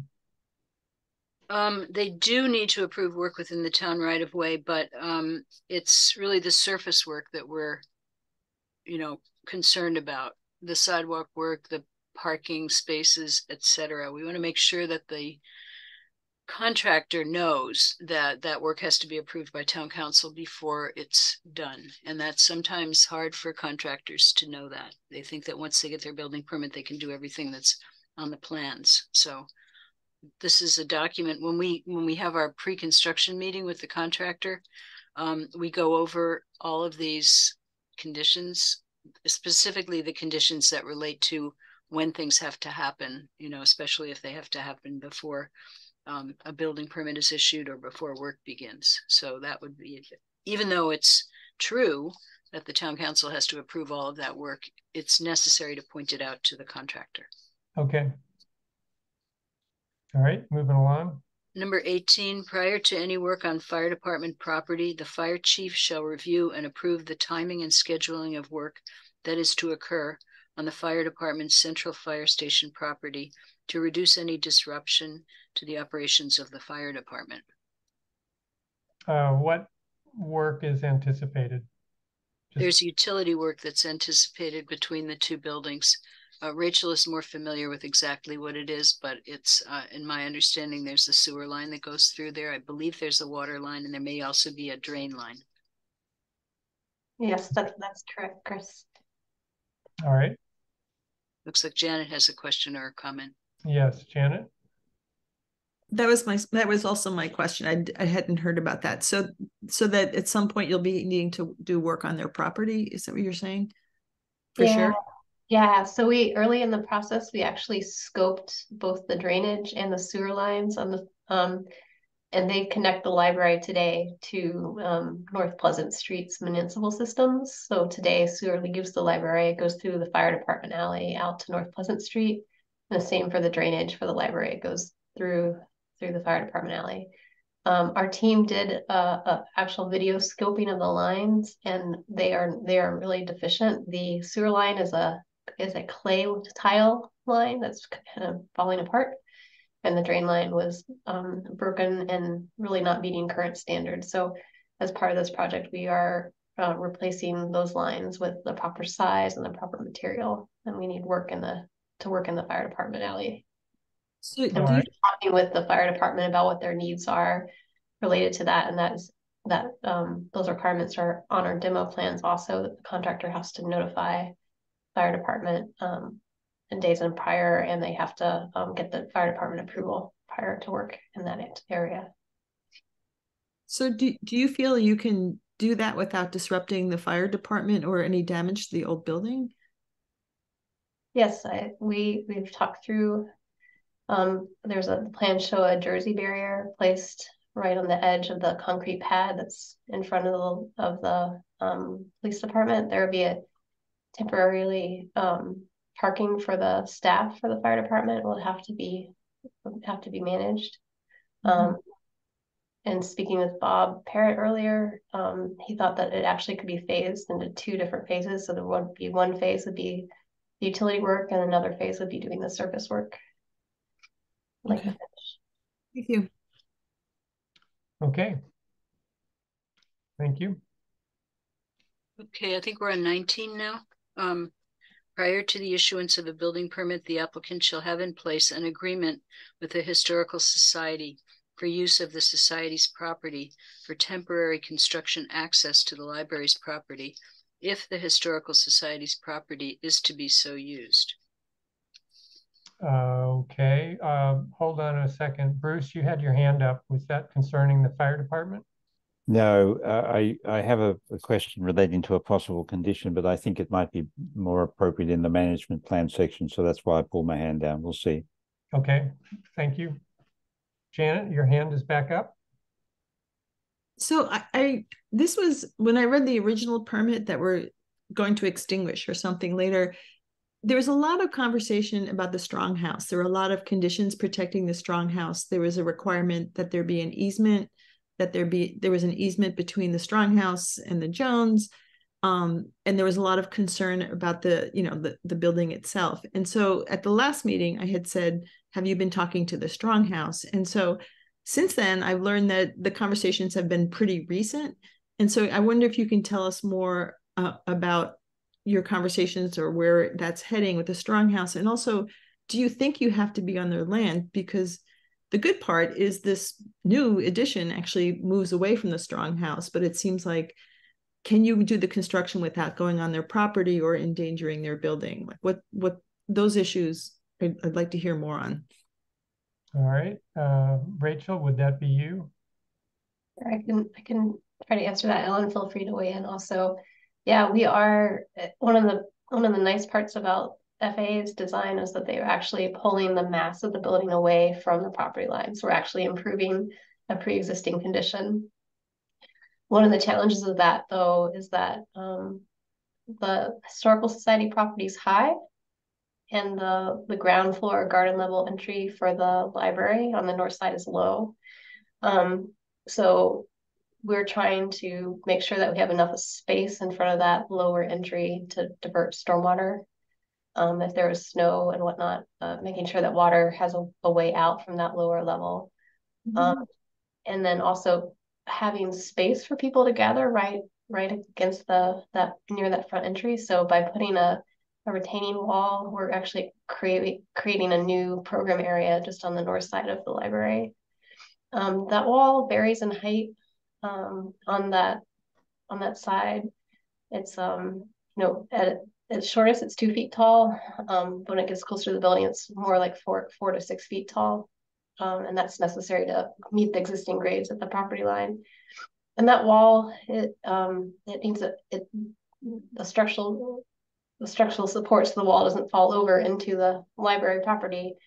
It's, it has a foot that sticks back into the ground below below the surface of the grade. Um, it anchors the wall and keeps it from falling over. So the construction of it requires that the footing for the wall extend into the historical society property. The surface of the wall, uh, its railing and everything is entirely on the library's property, but the footing about an additional four feet down below frost is extends into the library into the historical society's property. Um, if we didn't do that, then we'd have um, a situation where it'd be extremely tight um, maybe not even meeting code for passing between the, the building and, and that wall. Okay. Um, so uh, it sounds like you have had some conversations with the Historical Society and uh, does it sound like you are likely to uh, obtain a, uh, an acceptable agreement between the two entities? Sharon? Yeah, yeah. Uh, um, yeah, so the Stronghouse, they've been a great neighbor. Um, you know, we've been we've been at this project for a really long time. Um, and um uh, Gigi Barnhill, their the president of their board, has been to all of these meetings. Uh, we recently got a letter, and I think I've it's been forwarded to you. Is that correct? No. Have y'all? No. Doug, have you not seen the letter from the Stronghouse? I don't remember seeing it, but okay. uh, you know, things have been a bit of a blur the last couple of weeks for me. To- totally understand. So we'll we'll make sure you get the letter. So yes, so the Stronghouse uh, trustees and the library trustees are uh, in the beginning stages of of working out the easement language and um, and negotiating all all of the requirements. And so it makes sense here that within your you know your requirements uh, what you all are saying to us is there needs to be uh, you know signed approval between both boards. We need to see the easement language uh, in place before we're going to sign off on on anything. Um, so that makes complete sense. Okay. All right. Chris you want to move on to 21 okay prior to the installation of exterior signs the applicant shall submit a sign plan, including details to the planning board at a public meeting for review and approval. Now, the applicant had asked for a waiver from the sign plan and had said they would come back later with a site plan review application for signs. So that's one way to handle it. But the other way to handle it is to say, you know, prior to them installing any exterior signs, that they need to come back to the planning board to have those uh, sign system re reviewed that's more typical. Number mm -hmm. 21 is more typical of the way um, the planning board has handled this in the past. But you know, whatever everybody's comfortable with, I'm I'm okay with. Okay. Um, I'm fine with the way you've drafted it. Mm -hmm. um, Sharon, any objection? Yeah, no, not a, not at all. Okay. okay. All right. For 22, the applicant shall provide the planning board at a public meeting specifications, including material and color, for any amenities such as bike racks, site furniture, and benches for re review and approval prior to installation. They don't have right. that figured out yet. Um, Sharon, no objection to coming back about that? Yeah, no problem. Okay. okay. Um, uh, Chris, um, I'm going to just mention the time now is 12 after 8, and we usually take a break around this time. So I'm thinking if you if we go through the next two for the work within the right of way, and then we take a five minute break. Okay, that sounds good. Okay, work within the right of way. 23, repairs and improvements to the right of way caused by disturbance during construction shall be completed by the applicant, including all costs, permits, and approvals prior to the issuance of the final certificate of occupancy for the new building.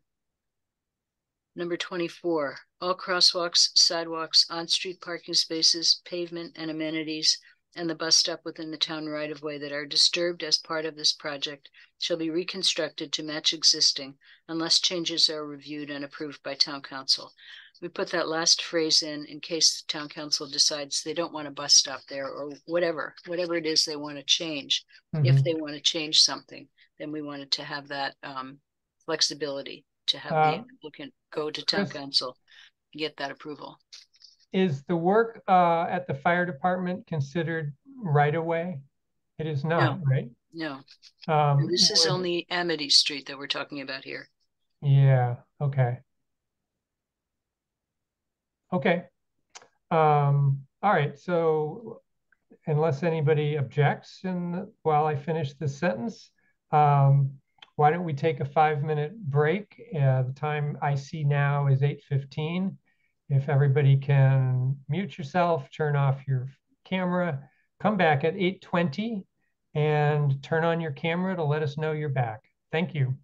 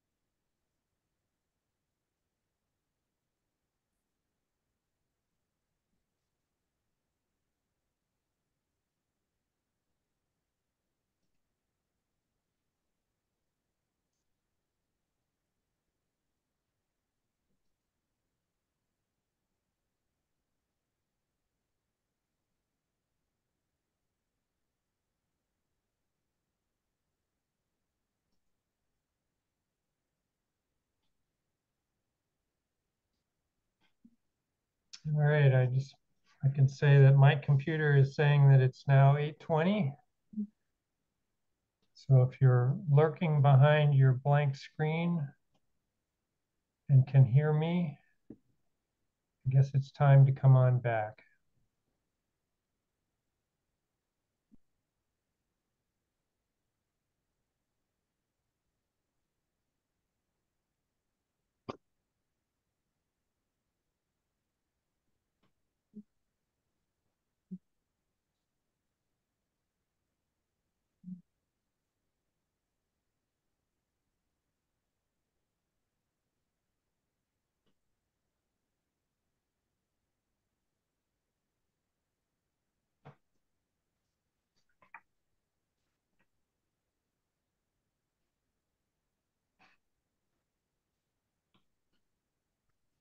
Uh, Chris, I see you're back.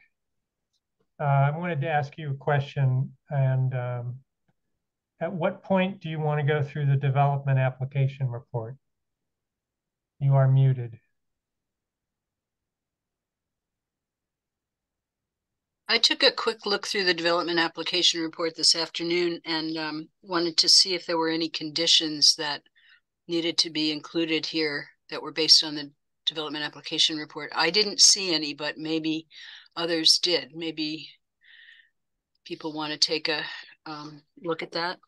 Yeah, well, I mean, you had a number of things where you were saying issues the board may want to consider. Well, one of them was parking and one of them was lighting. Yeah, Um, yeah. Well, I mean, you know, looking at the length of your conditions document here, we're on page two of five. Um, and the findings don't look a whole lot shorter. Um, if we're going to go through the development application report too, I don't see how we're going to do that this evening. okay, um, I guess I wasn't planning to go through the development application report unless someone had a concern about it. Um, Okay. I, I assume that Well, you all you read know, it the first yeah, time it I came mean, out. You know, it's quite common for us to go through it and discuss each of the topics you've raised. Well, I'd be happy to do that if you all think that would be useful. Yeah. All right, well, why don't we continue? I guess Fred isn't back yet. And um, let's see if there's anybody else. It looks like everybody else is back. There's Fred. All right. Um, so why don't you continue with the conditions? Okay, and I think Bruce had something he wanted to add to this section. Um, Right, to the management plan. So This is about, I'm sure he'll raise his hand at the appropriate moment. okay. So management plan, significant, oh, 25, significant accumulation of snow plowed within the project area shall be promptly removed from the site as part of the clearing process to the extent possible. All right, Twenty-six, all trash pickup, deliveries, the operation of construction maintenance machinery and landscaping equipment shall be conducted during the hours of seven AM to seven PM, Monday through Saturday. Exceptions shall include emergency vehicles, snow removal, or other emergency situations as approved by the building commissioner. So this is in the general course of um, operation. It's not related to construction. Mhm. Okay? Okay. Um, twenty-seven, the project shall comply with and be managed in accordance with all terms of the management plan. Any alterations to this plan shall be approved by the planning board at a public meeting. Twenty-eight, no work including demolition on the property shall take place prior to all approvals and permit being issued. Permits should be. Um. Page three. Number twenty-nine, the exterior of the property. Um, Uh, excuse me, Pam, could you scroll up? I am. I'm sorry, I was writing. Thank you. Here you you. go. You're welcome. Twenty-nine, the exterior of the property with particular attention to the front walks, front lawn, and front planting areas shall be maintained in a neat and orderly manner, free from debris and trash. Number thirty, movable site furnishings shall be removed from outdoor spaces and stored during the winter months from November to November first to April first. And this relates to um I think there are going to be some movable chairs that are in the children's patio area and also in a lawn area to the south, uh, let's see, southeast. Um, and there may be also some movable um, chairs at the north end of the of the building. So we we want those to be stored during the winter. And has that, uh, I guess I could ask Sharon, that's, that's fine. You've got a place to store these things? Uh, uh, so this is once the building is, is done and open? Yes. Yeah.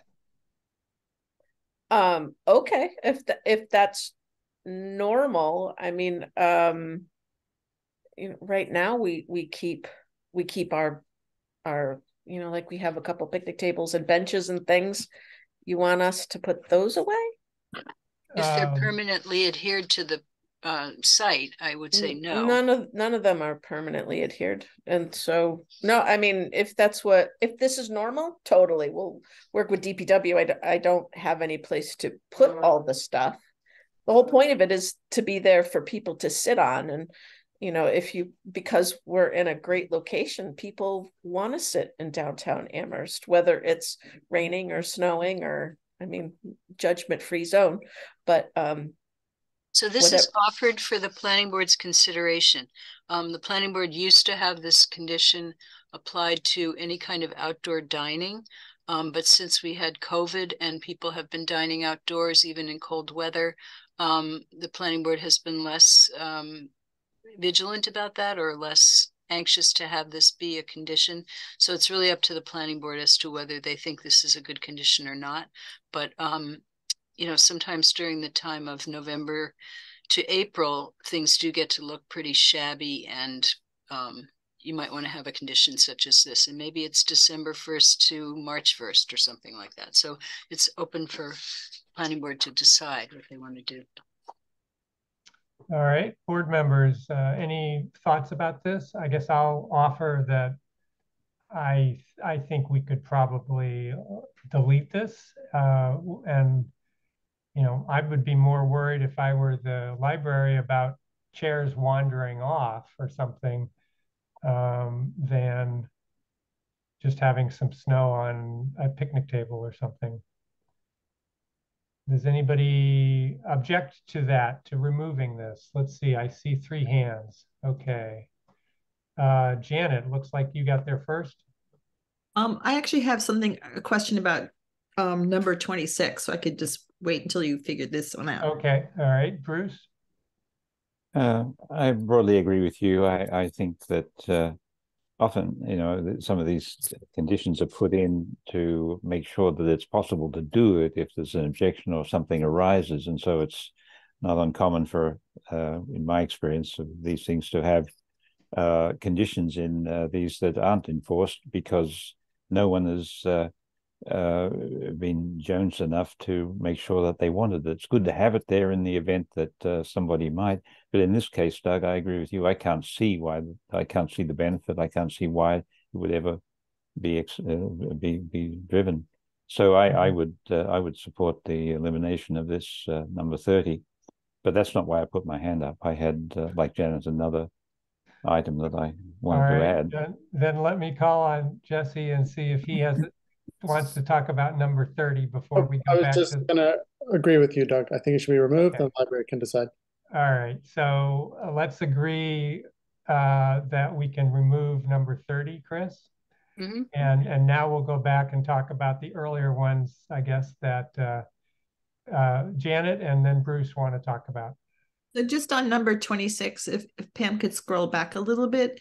Um, I didn't understand the whole idea that um um the the exemptions language, it said um exemptions shall include emergency vehicles, snow removal, or other emergency situations. And then it says as approved by the building commissioner. And it seems to me that if you had a huge snow or an emergency, or some other emergency situation, the last thing you want to do is like call Rob Morra at like 11 o'clock at night. So I didn't understand why he had to approve of something that seemed, you know, kind of, does that make sense? It might be Yeah. picky. I hate to Yeah. put the pain on that minute crisis. I don't think it needs to be there.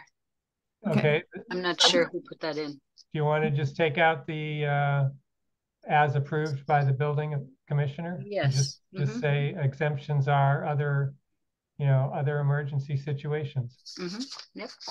Okay, uh, thanks, Janet. Bruce, Yeah, I agree with that deletion as well. Um, uh, but um, I I wonder whether we might uh, consider the need to add a, a condition in. The, I guess it would be in the management plan. I remember during the discussion of the infiltration chamber uh, uh, on the north side that uh, I think the uh, Berkshire Design, I think it might have been Greg Houston, um, uh, uh, uh, said that it was the expectation of the uh, design team that this uh, infiltration infiltration chamber would be flushed annually. Um, and I, first of all, do I correctly recall that? And secondly, uh, would it? Uh, I'm not sure whether I'm asking Chris. I guess I'd ask uh, Chris and and the board whether we think that that would rise to the uh, level of being uh, appropriately cited as a condition, the annual flushing or whatever the word is of the uh, infiltration chamber. I think there's only one of them, so I guess it Yep. would be the north side. yep. Uh, Rachel, I see your hand. You have a comment on that? Yes, thank you. Um, I'd like to add, so the stormwater management report, which is reviewed by the town engineer, has an operations man, operations and maintenance manual that will be provided to the library for maintaining. Um, any, I, think the specifics of that um, should be tied to that operation and maintenance manual rather than pulling out a piece of it that may or may not apply if the system changes.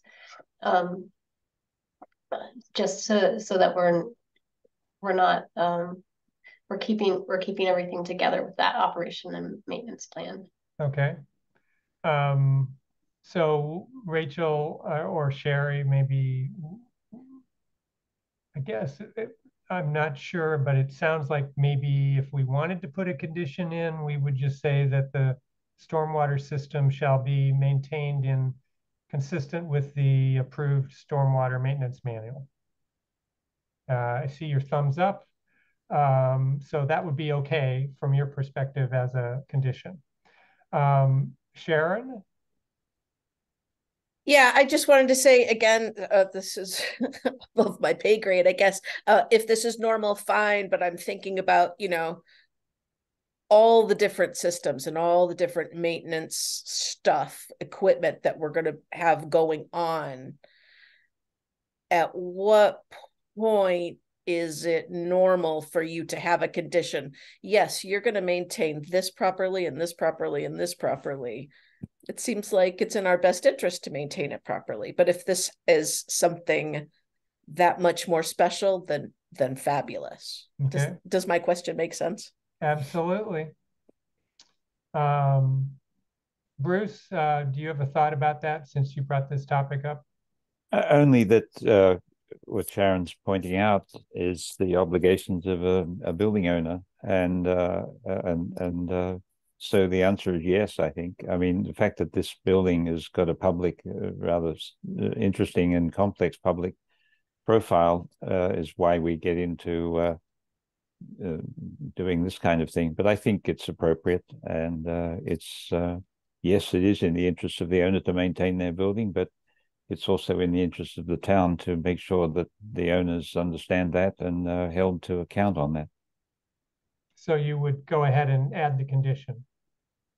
I would, I, I think the condition has pr- as uh, expanded and and made uh, far more intelligent by Rachel is the way to go. We tie the, this manage, we, we we include in this management plan a subordinate management plan for a specific uh, uh, component or a specific set of a specific subsystem of the building. Yes, I think we should do that.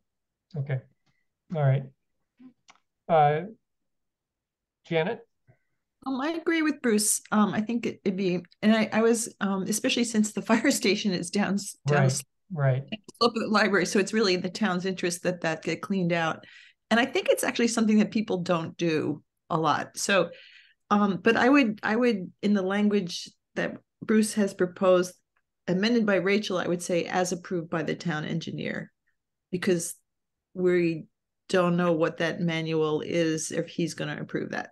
So Yeah. we're fluid state here. Okay. Chris, I see your hand and I see you taking notes feverishly as we talk about this.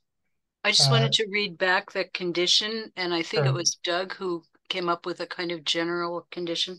Yep, Stormwater system shall be maintained consistent with the stormwater operations and maintenance manual um, or, or plan as approved by the town engineer. Is that what you wanted to say? yeah, I think that captures, captures it. Okay, Um, I'm seeing Rachel nod her head gently. Um, I'm not seeing Sharon object vociferously.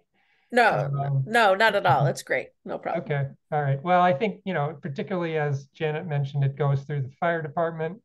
Uh, we don't want to have a backup and a lot of runoff going wherever it would go. Um, so uh, why don't we add that, Chris? Okay.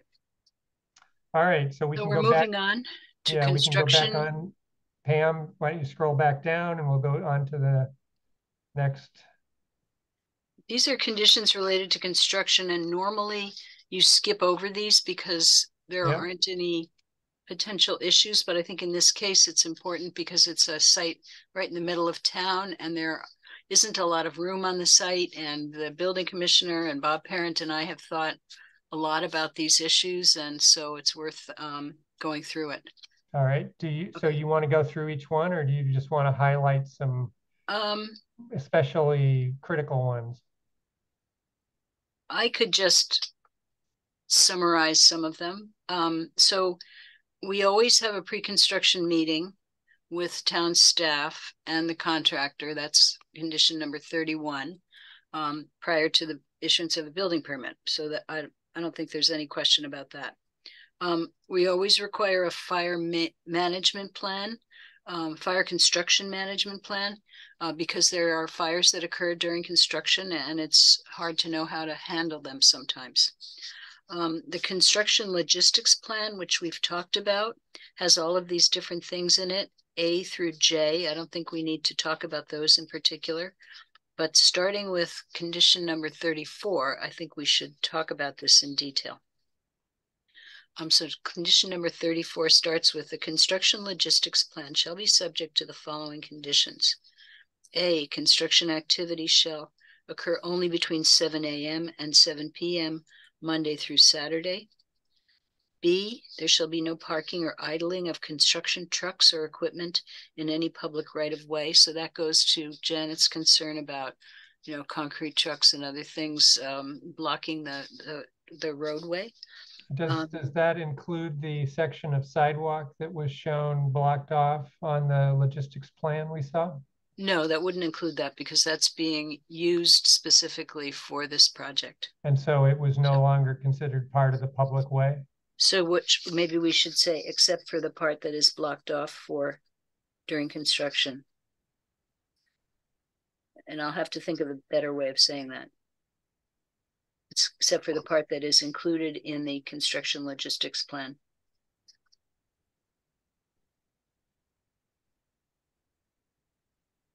Or approved by town council?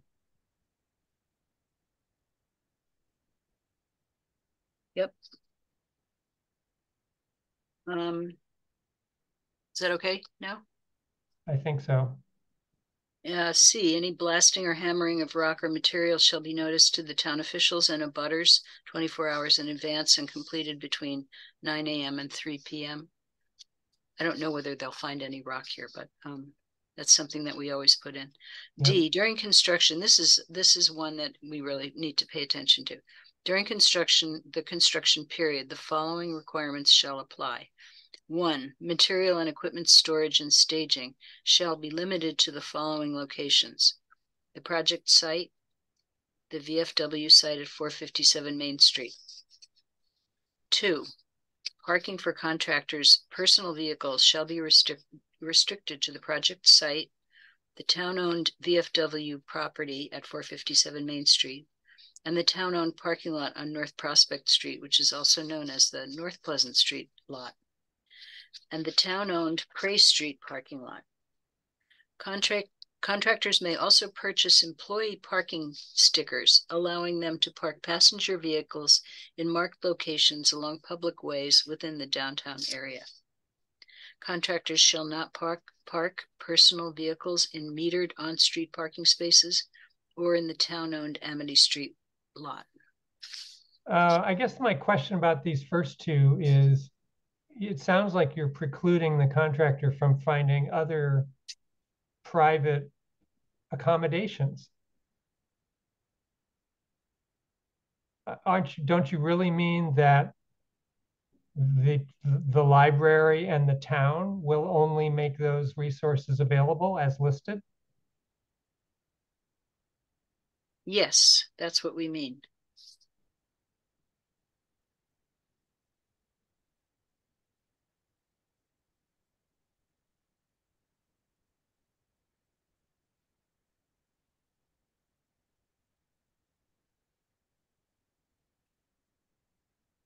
So in other words, the contractor could find a private property owner. where he Sure, I can mean, store let's say vehicles. he wanted to rent the CVS lot. And, you know, paid CVS enough to shut that lot for the duration of construction. Why Mhm. not? Yep. Okay, so I will add that clarification. Okay, Number Um, three, once a uh, Janet? So I, you know, I was, I'm looking at the old, um, excuse me. I'm looking at the, um, yesterday's permit, um, proposed permit and, you know, basically the old language suggested it wasn't, you know, it was, it's in italics. Says once a general contractor has been hired and prior to the into issuance of a building permit, the general contractor shall submit to the planning board for approval a plan showing where material and equipment will be stored and staged where and where construction vehicles will be parked and a plan for parking of contractor personal vehicles um, the plan shall be reviewed and approved by the planning board at a public meeting you know that paragraph takes care of my concerns and you know t- you know sort of what i suggested earlier. And you know if if somebody can find some place near downtown you know that is big enough for all these you know you know vehicles and all their equipment and their um, materials you know more power to them that's what they can come and talk to us about. We don't have to worry about the vfw site. My guess is that these is you know these two sites are probably it. Yep. Um, So and that- that's the next, that's the next condition on Chris's draft here. oh okay so Thank you, thank you for reading that. i'm sorry I mean, i'm still jumping back because i still haven't read this one and i was looking at this one so Yep, yep. So Pam, scroll down a little bit so we can see item three there. Yeah. So that text exists and it sounds like you're in favor of it. It's a little bit different. Do you want me to read what is actually in this one? Sure. Once a general contractor has been hired and prior to the issuance of any building permit, the general contractor shall submit to the building commissioner for approval a plan showing where material and equipment will be stored and staged and where construction vehicles will be parked and shall present a plan for parking of contractors' personal vehicles. All right. Uh, Janet, that seem okay? Got your No. hand? Yep.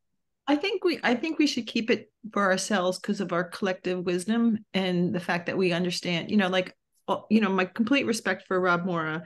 But one of the good things about the planning board is, other than our ability to pick nits, and it's like everybody has a different experience. So people who live downtown will understand, oh, that doesn't work because X, Y, and Z, or somebody who's an architect will be like, well, that's going to be a problem. And so I think we should just stick with the language saying, come back to the planning board um, just to make sure your plan makes sense. And what may make sense to Rob Morra might not make sense to seven people who are ordinary citizens with different professional degrees. And that that's that's the good that's the good stuff that we bring is that we get to look at something and you know Bruce is like that's a weird curve on the roof. You know, it just doesn't match. And so those little tweaks, but I think this is actually pretty significant. I think we should stick with just having them come back to us. And that is the last thing we'll say about construction plans. Uh, board members, how do you feel about this? Uh, are you okay with the building commissioner or do you prefer that the planning board review this uh, construction logistics plan? Don't all raise your hands at once. Karen? Karen? Mainly to go to Rob Morra and if something is kind of, I don't know how much plan, it's just more efficient to go to Rob Morra. I'm not sure that this is, and and he would make a pretty good decision, I would think. So you'd support leaving it with the commissioner? Yeah, I think I would. Okay, Bruce? I think I support Karen. I, I understand Janet's concerns, and and in theory, the uh, the the board might be there might be some instances where we might uh, see things better or differently. But broadly speaking, I think the building commissioner is probably going to be a satisfactory route, and it's certainly uh, a whole lot more expeditious. So I don't think there's enough to be gained by bringing it back to us. So I support see, keeping it the way it is. Okay, Jesse? Uh, Bruce said better than I would, so I concur with his statements. All right. What did he say? I didn't catch that. Um, Jesse I- I agreed with concur with- Bruce? Concurs with Bruce, okay. Yes. All right, um, I assume Karen, you're done with your raised hand? Oh, sorry. Uh, all right. All right, um, let's see, I haven't seen anything from Johanna. And, um, I will say, I guess I think I'm fine with it staying with the building commissioner. Um, you know, I just, I don't, I don't look at that many construction logistics plans to feel like I'm, uh, you know, necessarily very good at that. Johanna, I concur with the majority. okay. All right, well, so Chris, why don't we leave the approval of the logistics plan with the building commissioner?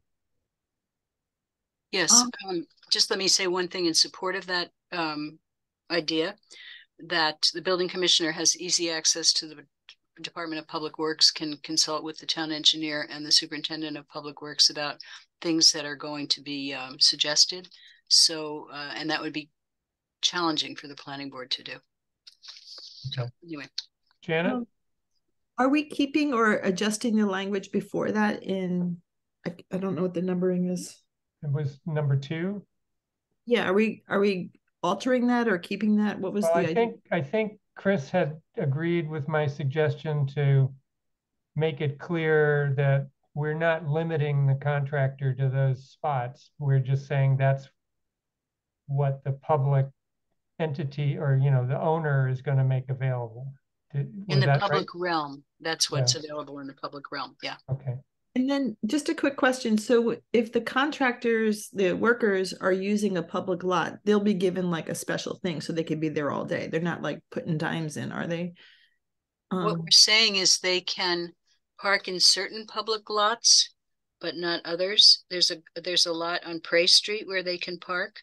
And there's a lot behind CVS, which is the town-owned lot. Sometimes it's called the North Pleasant Street lot, and they could park there. And they could feed the meter or whatever they need to do. They can also come into town hall and purchase an employee sticker.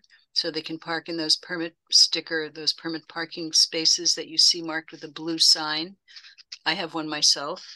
Um, Okay, but we don't want them to park in on-street metered spaces because those are spaces that everybody, the, the, the public uses. And we also don't want them to park in the Amity Street lot because people go to the cinema and they, you know, want to go downtown and we don't have the lot in front of the town hall anymore. So we want to leave those spaces open for members of the public. okay. Got it. All right. Okay. Right, number Up, we're up to 35, I believe. Thirty-five, it's thirty-five is just boilerplate, you know, that they have to provide the building commissioner with information about um the project manager. Uh, thirty-six is different times when they can't work, and I think I should read through this. There should be no exterior construction activity including fueling of vehicles, deliveries, or idling of vehicles or equipment on the project site before seven AM or after seven PM, Monday through Saturday. There shall be no construction on the project site on the following legal holidays: New Year's Day, Memorial Day, July fourth, Labor Day, Thanksgiving, and Christmas. And the applicant agrees that the hours of operation shall be enforceable by the Amherst Police Department and or inspection services. And this is one that we added. Um, there shall be no work during graduation for the University of Massachusetts at Amherst, May seventeenth and May eighteenth, twenty twenty-four. Because those Um, do that- we, do we not expect that, uh, construction could go into twenty twenty-five? Well, we could, yes. I suggest you add those dates as well. I mean, if I added up the timeline that we had in the earlier uh, document about how long it could be before they apply for the building permit and then, then how long the construction can take, you know, it sounded like it was close to four years. Right? I mean, you know, 18 months to get a building permit and two years to build the thing, that's three and a half years. So anyway. Mhm. Okay, so uh, I do see a couple of hands. Johanna, I'm curious about the rationale for the University of Massachusetts at Amherst and whether it also extends to Amherst College. Amherst College has its graduation on a weekend. Um, so the people who suggested this uh, condition didn't think that was necessary um, for Amherst College. Also, the crowds are sh- are smaller for Amherst College. okay. Okay. Uh, now Fred. Uh, yeah, on, uh, thirty-six, um, I'm curious why, uh, the, uh, Traffic Enforcement Division is excluded from the list of enforcement. Chris, are they separate from the police department? I don't think so. I think that's they're members of the police department. The Uh, meter people are separate, but the traffic enforcement people are part of the police department. Okay, well, if, if that's the case, I didn't think so, but if that's the case, then it doesn't matter. So did you say, Chris, that the meter folks were separate?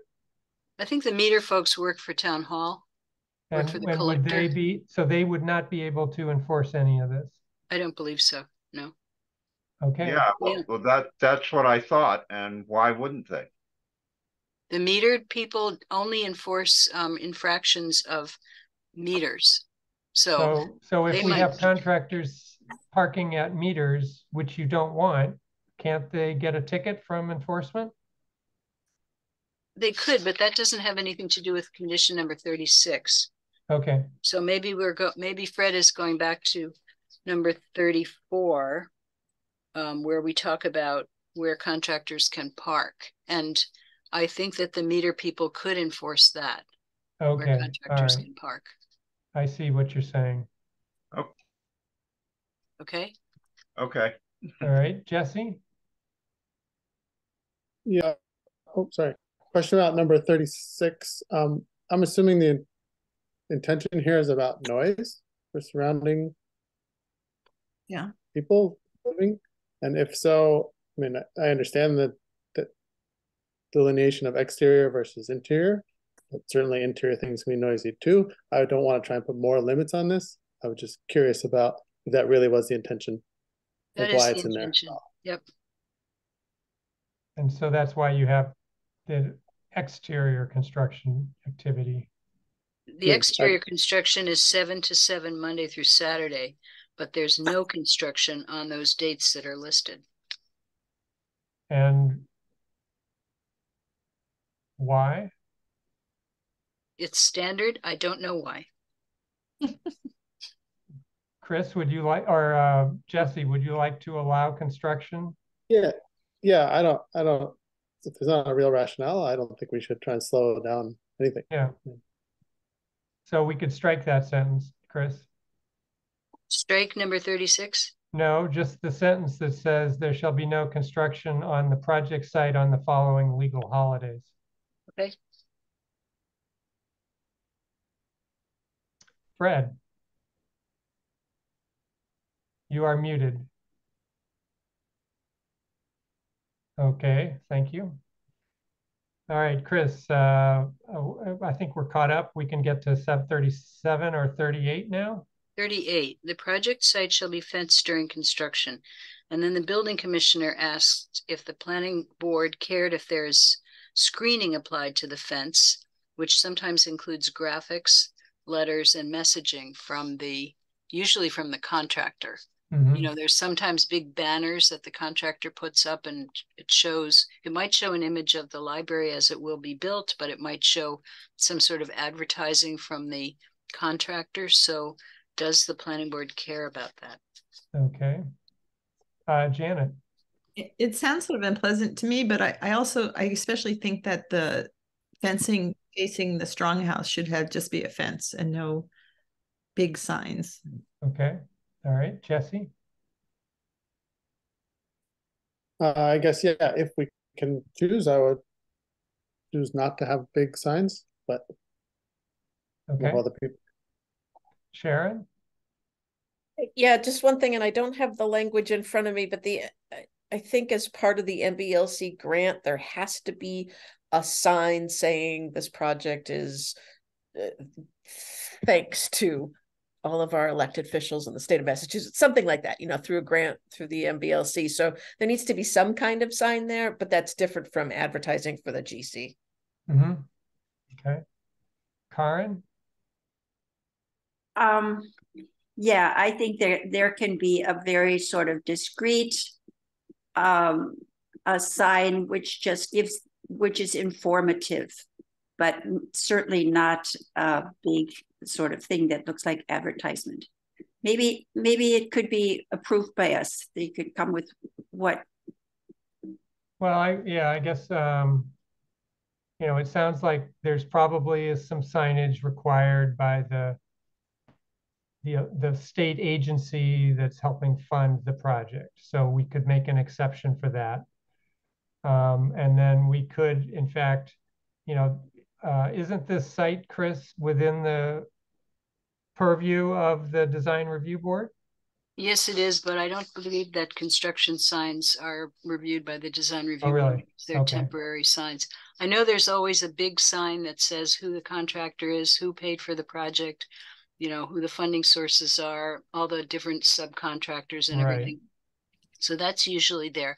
But I think what we're talking about here is those uh, signs that are made part of the screen or mesh. And we've seen them on um, Archipelago projects where they have, you know, a big picture of what the building's going to look like in the future and might you might even say renting in 2023 or whatever it says. But you could say, you know, that you don't want um, large advertising signs on the screens. Right. Does that make sense? Yep.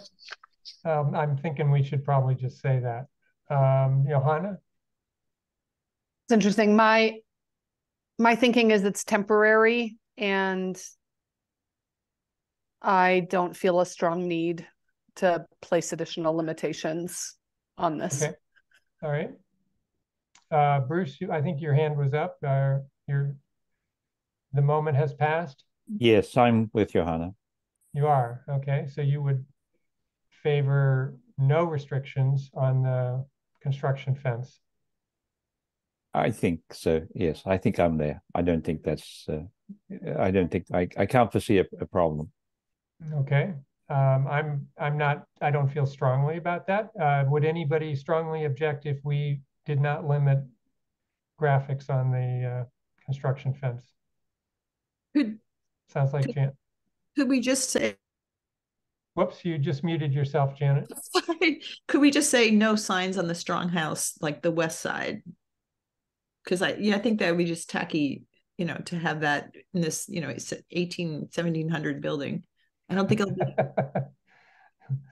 All right. Uh, anybody object to prohibiting on the west facade, the west construction fence abutting the strong house? I don't see any hands.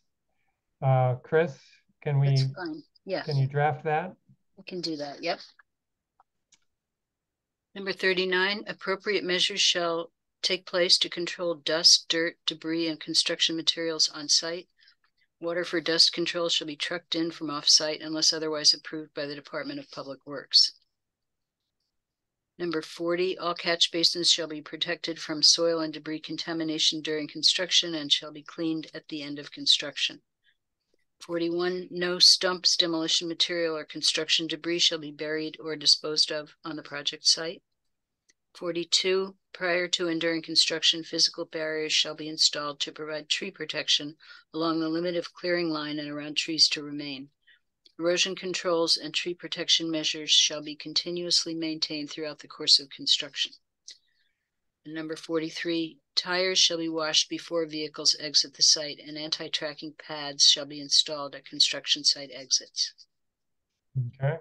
Um, Uh, Johanna, Is there, and maybe we'll get to it, but is there anything in here about dust management? Should that come to be a problem? That's just- in um, number 39. Appropriate measures shall take place to control dust, dirt, debris, and construction. Thank you. Sorry, I missed it. Okay. Um, number Anything, anything in the 40 next section? Does someone want to say something? Well, Chris, I was just wondering, is there anything in the next section that you think we need to read?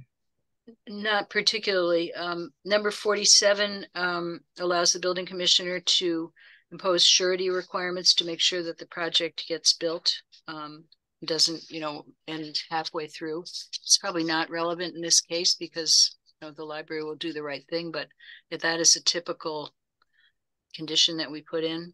Um, I don't think there's anything else except for at the very bottom, number 47, the temporary access area of the Stronghouse Museum grounds shall be restored to its pre-construction condition within 30 days of the project completion. Okay, Um, did the numbering go backwards to get to that? Pam, Hmm? scroll oh, up. it went backwards. Yes, it should be 50. Yeah, that's what I thought. Okay, yep, Good catch. I know this, I did this so many times. Janet, I had a question about the surety, um, about because we we had a a project that sort of just sat unfinished for a really long time and um on Spring Street, and then of course you know it's done or almost done, and I I kind of it, it got me thinking about what would have happened if the owner of that building or the developers you know went bankrupt and the building just sat unbuilt and that occasionally happens in different places and so, do we requ- ever require a surety that the construction will be complete? Um, because we, you know, on the solar bylaw working group, we, we're requiring a surety that, you know, you're going to build your solar field and not just leave a bunch of, you know, sticks, you know, like a bunch of posts out in the middle of a field or a forest. So, Yeah. it, do we ever like require people to say, put up a bond, a performance bond, saying you're going to do the work, and if you don't, we can collect on the bond and complete it ourselves and then um so that was I, one I thought, I thought that's what this just said. This only covers the uh, landscaping. Oh, is that right? The Okay. site, landscaping and site work, because that's the work that is sometimes left undone. Uh, we have not had the experience of a building being left undone. And the bond would have to be enormous to cover the cost of our taking over and finishing a building. Uh-huh. Okay, Sharon, do you have, do you have a I'm thought just- about that? Yeah, so Bob Parent is telling me the project contractor will have to be required uh, to have a performance bond to ensure completion. okay All right. Great. All right, um, Chris, are we through these conditions? Yes,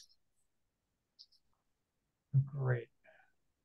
And um, I guess uh, at this point, I'll ask, is there anything that people saw in the development application report that they would like to talk about? And I'm, I'm just going to scan, scan it myself for the moment. I, everything I've seen so far looks like it was covered in these conditions.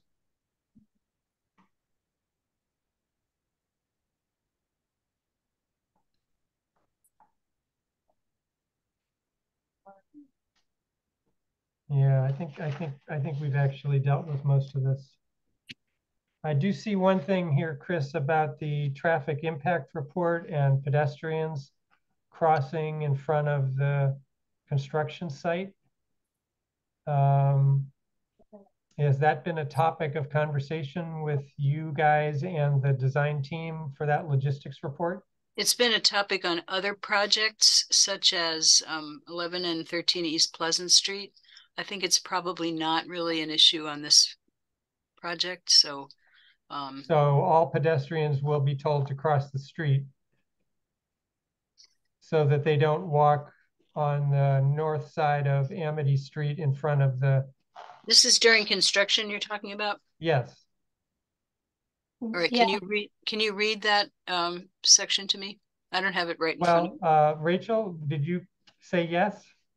I, I just like to iterate that the uh, logistics plan goes into great detail about the signage. Um, we are putting signage in at the corner of North Prospect Street and even at the corner of North Pleasant Street, um, letting people know before they get to the closed sidewalk that it's closing, it's time to cross. Okay. Um, so that is mapped out in detail in the logistics plan. Okay, so the plan is that no pedestrians are crossing in front of the construction site or Correct. going past past the construction site. Right. I think that the um, item in the development application report actually referred to the ultimate situation where pedestrians were crossing the driveway. And so it wasn't really referring to the time during construction. Rachel is oh, referring oh, I, to the time during construction. Okay. So I don't really feel like, you know, having seven cars yeah, occasionally come in and out of that driveway is really going to cause a problem yeah, and have to be and studied. and that, that hasn't been a site of a great number of pedestrian accidents. I mean, no so far? In the past, no. Okay, all right. Janet, I see your hand.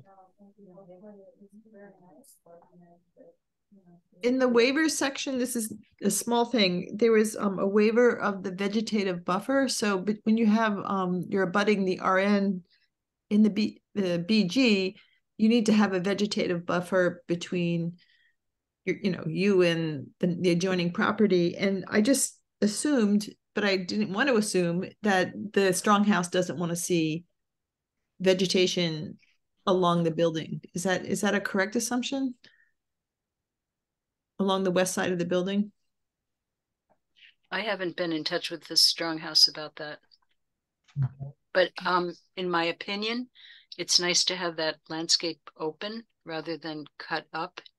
It's nice to see the continuum between the Stronghouse and the library the way it's always been, rather mm-hmm. than having um, shrubs or something there. Yeah, it's also nice for security, particularly if people are sleeping on the porches. It's true. Uh, Fred. Uh, yeah, I had a question about the uh, area to the, uh, let's see, it would be to the east of the Jones. Um, right now, that's the only HP parking that's uh, anywhere near uh, people going to the uh, to the Drake, and uh, so that uh, is a matter of concern. I can tell you for my wife, who definitely needs that space. Uh, is this during after hours? Is this site going to be completely closed? I'm getting the impression the answer is yes. Uh, Sharon? Yeah, no, no. Um, just like now, right now we have two handicap spots. Anybody is welcome to use them at any time, whether the library is open or not. And, and, and doesn't doesn't that apply to basically all the parking? All seven spaces are likely to be available to anybody after hours? Yeah, we won't put a gate up there or anything like that. Yeah. Okay, Okay, thank and there wouldn't, there wouldn't be any enforcement or ticketing or towing of anybody parked in that space, right? No, correct. Yeah. And so because the property is owned by the trustees, it's not it, it's not ticketed by um, the town's parking management folks. Okay, and, and you won't be, you know, Towing. hiring Pat's Tow to monitor it and take my car away? No, on, only if you, you know, hit another car that's parked there, then Okay. then something could happen. But no. All right. No, I, I was just concerned about a construction fence that might close that access. Oh, during Um, construction, there will be a fence there that will close that access. Oh, Yes. So that's, the- that's my concern that That was the uh, we're question. gonna, we're gonna go through maybe an extended period of time uh, with uh, a well. All right, Yeah, well, with the loss of a couple of strategically placed accessible spaces.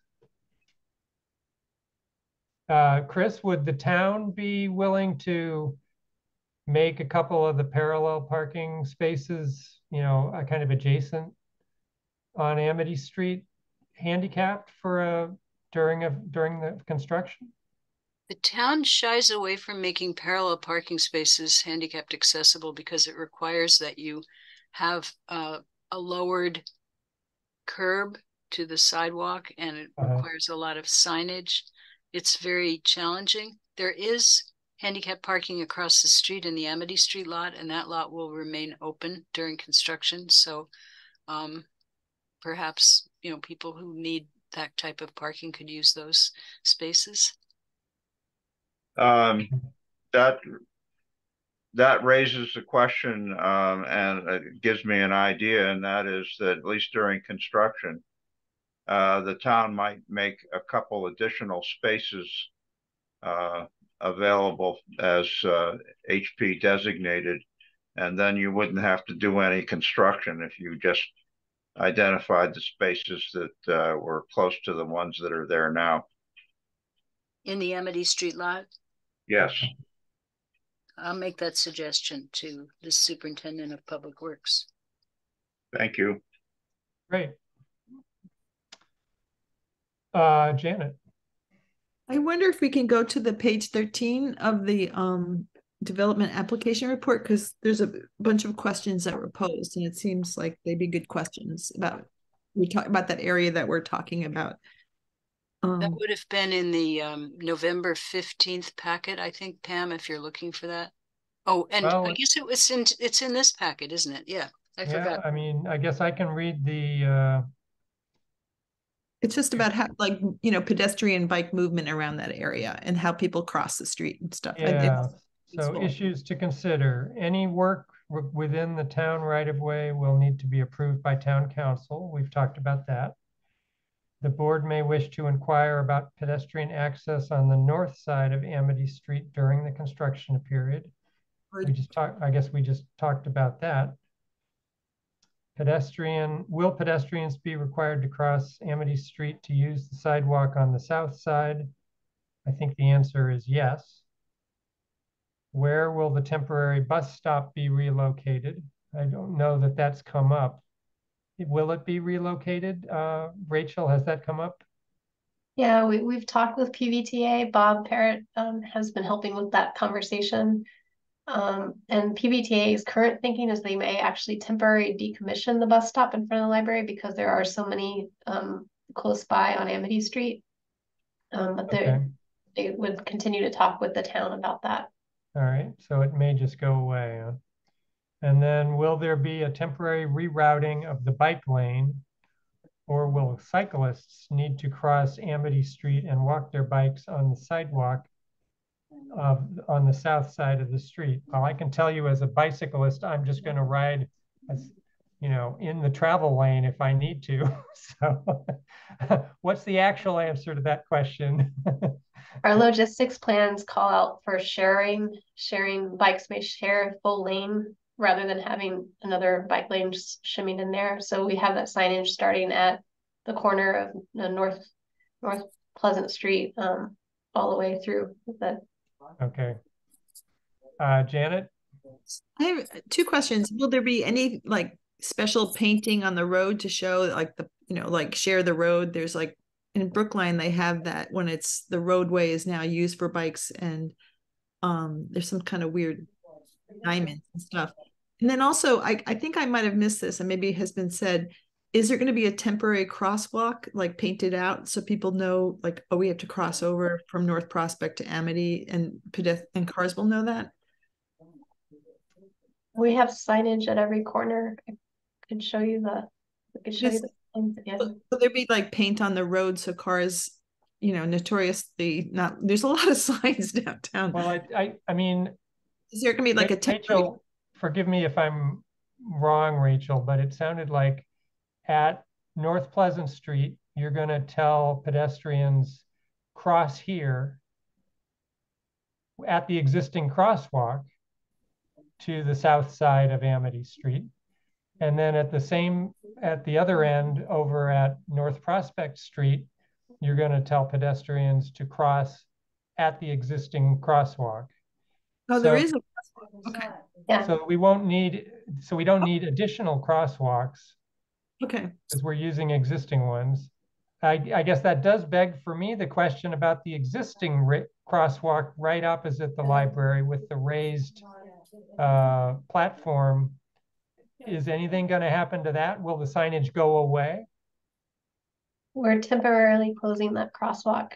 We have signage that it's closed. All right, and is there a sign in the middle of that street? I think there is, in the middle of Amity Street. I kind of remember trying to miss it as I missed the pedestrians too. It's uh it's one of those, it's not permanent sign. They take it out during the winter, you know, so Okay, plows can all go right, through. so somebody will, you know, Public Works will just remove it for a couple of years. Fred, Uh, yeah, if that happens and if I get the uh, additional HP spots in the uh, in that lot, um, people are going to need to be able to uh, cross. Um, and the uh, it, it, I think the DPW should be contacted about at least painting a crosswalk, even if it's not raised. Uh, and I'm not sure where to place it, but uh, well, I mean, wouldn't they cross either at North Prospect Street or at North, or I guess that's just Pleasant Street? Um, at the existing crosswalk, particular, you know, you'd cross at Pleasant Street, uh, where you, if you were headed to the Drake. yeah. Well, um, yeah, that's pro that, I I guess maybe that's the only option. Uh, Yep. Okay. All right, I thought I saw maybe another hand, but I don't remember whose it was. So, okay. All right, so we've been through these conditions. Um, we've kind of talked a little bit about the development application report and people have raised the topics that they wanted to discuss. Um, the time is nine eighteen, and um, do people want to sort of power through the uh, findings uh, this evening and try to try to vote on this? I'm seeing at least two hand two two heads shaking yes and one thumb to go with it. Bruce, your hand.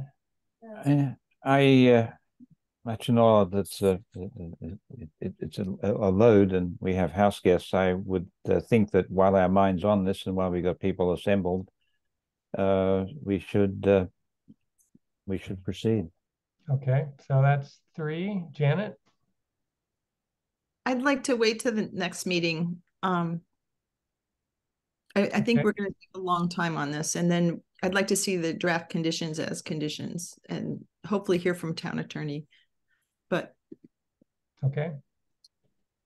All right, well, at some point, I think we're gonna need to take a straw poll on that. Uh, and it sounds like at the moment, there's at least three members in favor of proceeding, uh, this evening. Bruce, is your hands, uh, back up? Yes, it's it's just a concern that if we stop and then we take two weeks and we start again, that that, that it'll take us twice as long. We'll have forgotten stuff. It'll be very inefficient, very frustrating. Much and all as it's troublesome to imagine that there's going to be a late night. I think we should, and, and I don't think we need to worry about uh, other reports from other folks. I think we've handled that. I think we just we just do we just we just Okay. stick our nose to the grindstone and do the work. Yep. All right. Um, Well, uh, I guess unless other members who have not spoken uh, want to weigh in and change the course of uh, the evening, why don't we go ahead and talk about the findings, Chris? Pam, if you could bring those up.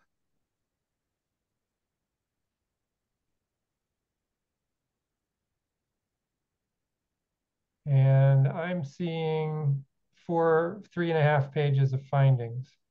How's your voice holding up, Chris? I think I'm doing all right. Okay. Well, I'll let you continue unless you want to turn it over to somebody else. Okay, so the first set of findings is about the site plan review. Um, and uh, the section 11.24 is the section that we look at.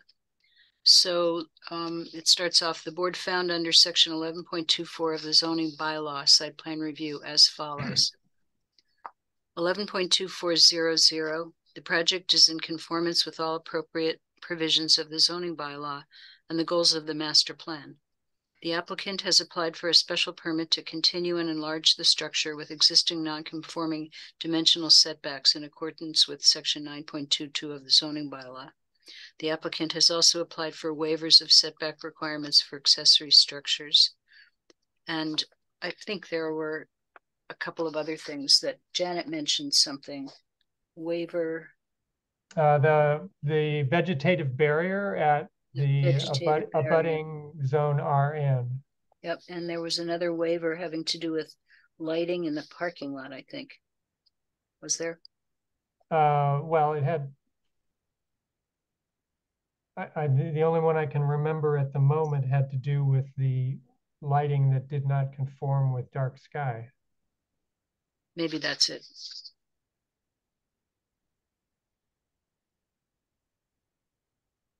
Okay.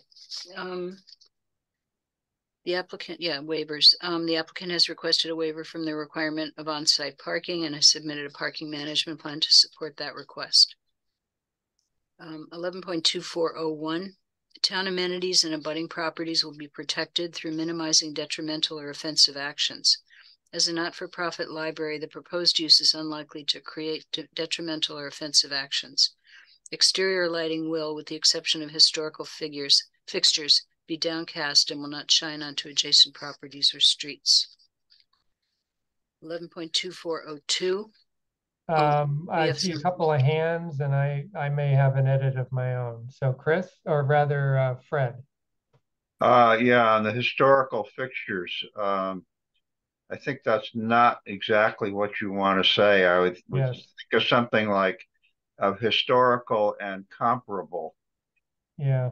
fixtures uh, because they are putting some very modern, brand new ones that look historic, but in fact aren't, uh, along with the ones that are actual historical. Right.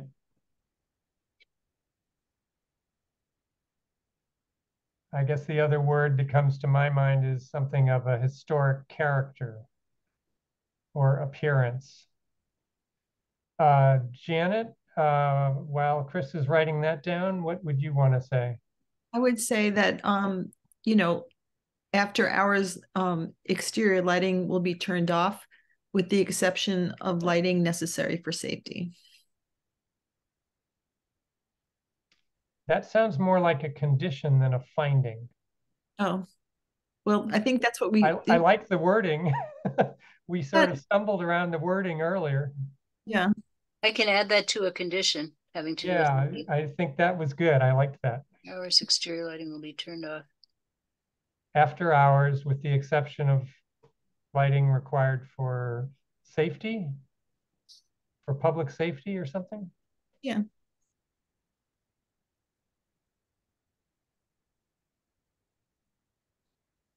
I can't write fast enough. That's what we have the recording for, Chris. This time of night. Yeah, I'm sure Pam is uh, busy writing too. Um, all right, so Okay. Pam, why don't you scroll down a little bit? Mm-hmm. we're on eleven point two four oh two now. Yep. Yep, Abutting properties will not be, will- abutting properties will be protected from detrimental site characteristics resulting from the proposed use including but not limited to air and water pollution, flood, noise, odor, dust, vibration, dust, comma, vibration, lights, or visually offensive structures or site features.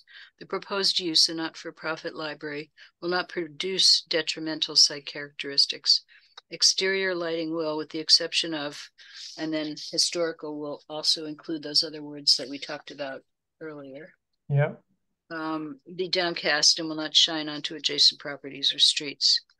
11.2403 Provision of adequate recreational facilities, open space, and amenities will be provided because there will be outdoor sitting and studying areas located near or next to the building, including a children's patio located next to the children's section of the library. There will also be a garden area on the north side of the building with accessible walking paths as well as stepping stones throughout the garden. Okay. 11.2410 Unique or important natural, historic, or scenic features will be protected. The project will preserve and maintain the 1928 portion of the library, as well as take measures to protect the Historical Society's stronghouse and property during construction. Several existing trees will be retained and protected during construction. 11.2411 The project provides adequate methods of refuse disposal as described in the management plan. 11.2412, the project will be connected to town sewer and water. The town engineer has been meeting with the design team on an ongoing basis as the project has been developed.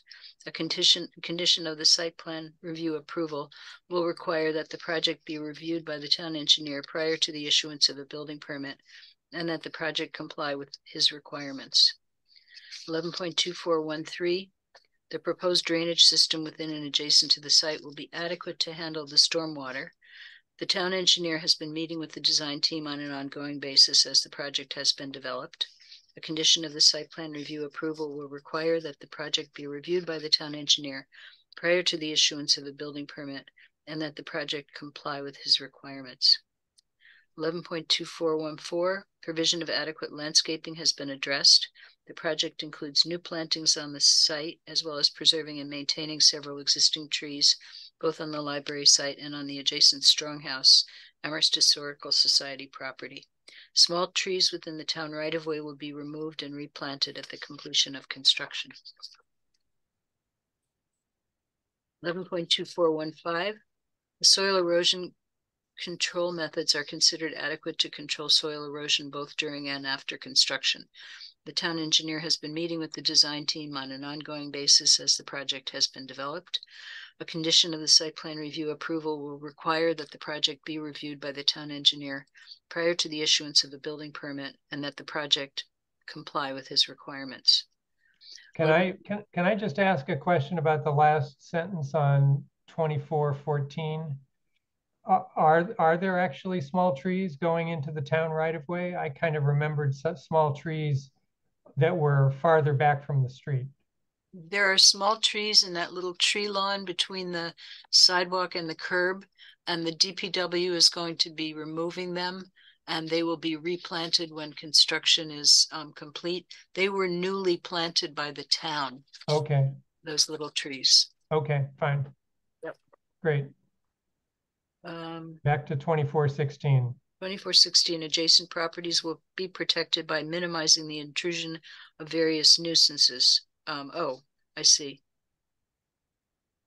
Well, that's that's So that so I really just rewrote that to include all of the things that were listed in the zoning bylaw. So it's really the one right below that that we should looking be looking at. Adjacent properties will be protected from the intrusion of air and water pollution, flood, noise, odor, dust, and vibration through appropriate site and structure design and the use of appropriate design and materials for containment, ventilation, filtering, screens, soundproofing, sound dampening, and other similar solutions. I don't know if there's more that we want to say about that. Uh, that covers a lot of it. Pam, I'm going to want you to scroll that up. Uh, Janet, I see your hand. Um, so we want to delete it, that that first one, right? Delete yeah. the first one, yes. Yes. It's redundant. Pam, are you um, going to scroll? Which way? Up. so that 2417 goes to the top of the screen. Okay, there you go. That's good. Great.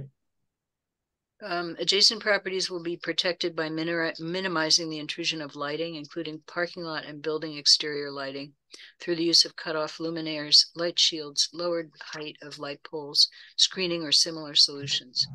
Except for architectural and interior lit signs, all exterior lighting shall be downcast and shall be directed or shielded to eliminate light trespass onto any adjacent eh, onto any street or that should be or lighting property or Uh, do you have somewhere in this, with the exception of light from historical fixtures or Yes. fixtures of historic character? yes it's down below Okay, good. um I, I can start at this sentence that starts with all. Yep. All site lighting, including architectural sign and parking lot lighting, shall be kept extinguished outside of those business hours established on an, under an approved site management plan, except for lighting determined to be necessary for site security and the safety of employees and visitors. The exterior lighting for this project meets these requirements, except for the historical and I will substitute the language that you've suggested, lighting that is mounted on the building near entries and exits, which consists of globe lights, as shown on slide 53 of the PowerPoint presentation given to the planning board on November 15th, 2023. And then in the notes below, um, there's one possibility of waiving uh, light, uh, those requirements for the globe lights that are near the parking lot but I don't think that's as meaningful as waiving or modifying them under 9.22. So I would go with note number two. There are existing historical globe lights on the building.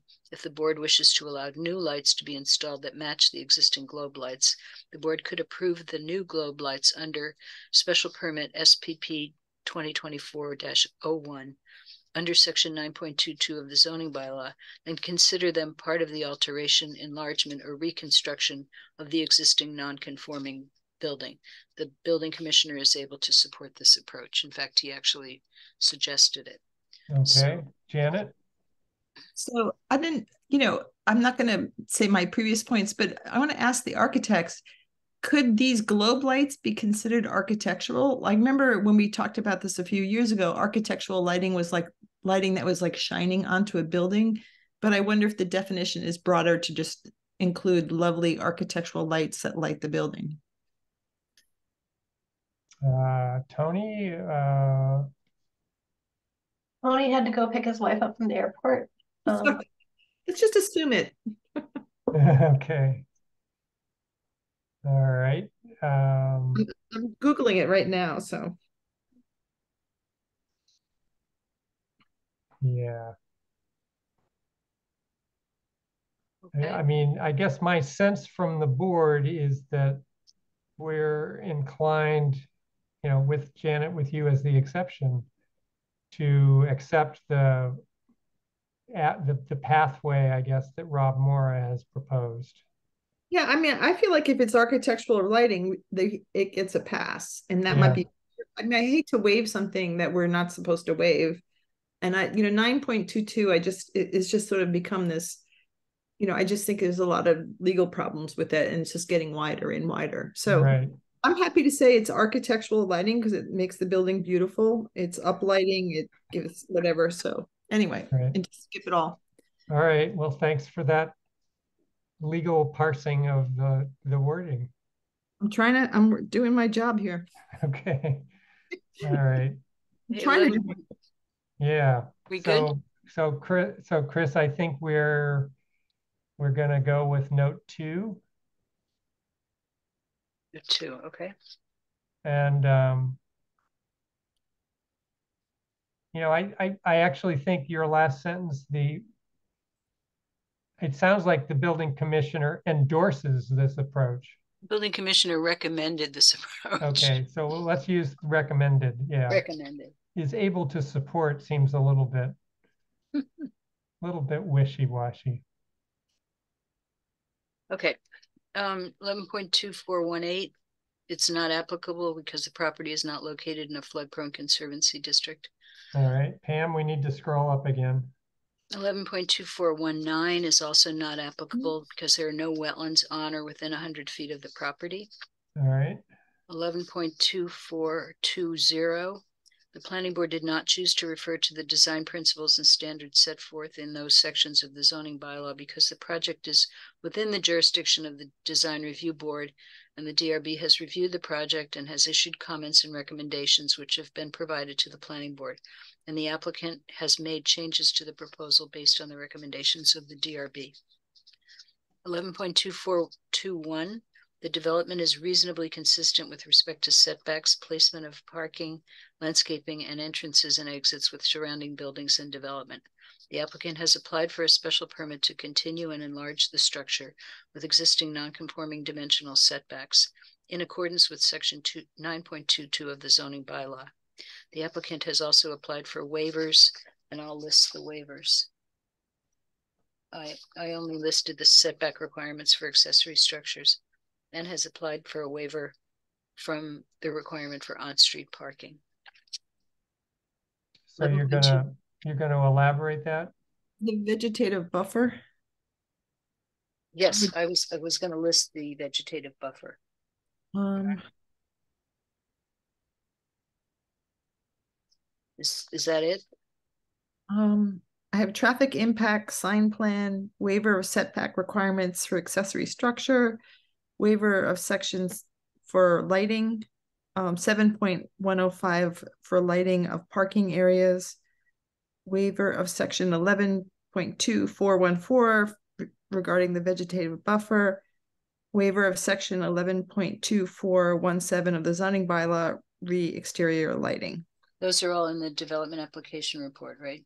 Yeah, that's a list from page three, or the old, the old, yeah, page, the current Oh. one. Development application report, yeah, okay. Um, eleven point two four two two, building sites shall avoid to the extent feasible impact on steep slopes, floodplains, scenic views, grade changes and wetlands. There are no steep slopes or floodplains on the site. There are no severe grade changes proposed other than at the proposed retaining wall.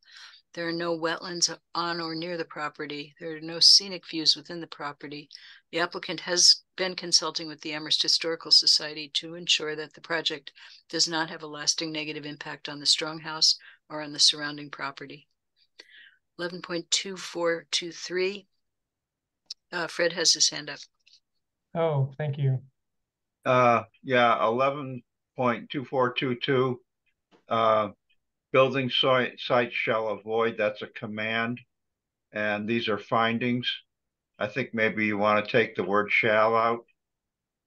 That's actually quoted from the zoning bylaw. It's part of the, um, what, criteria? Yeah, but aren't these findings? So, so you would say this building site avoids, Yes, something like that.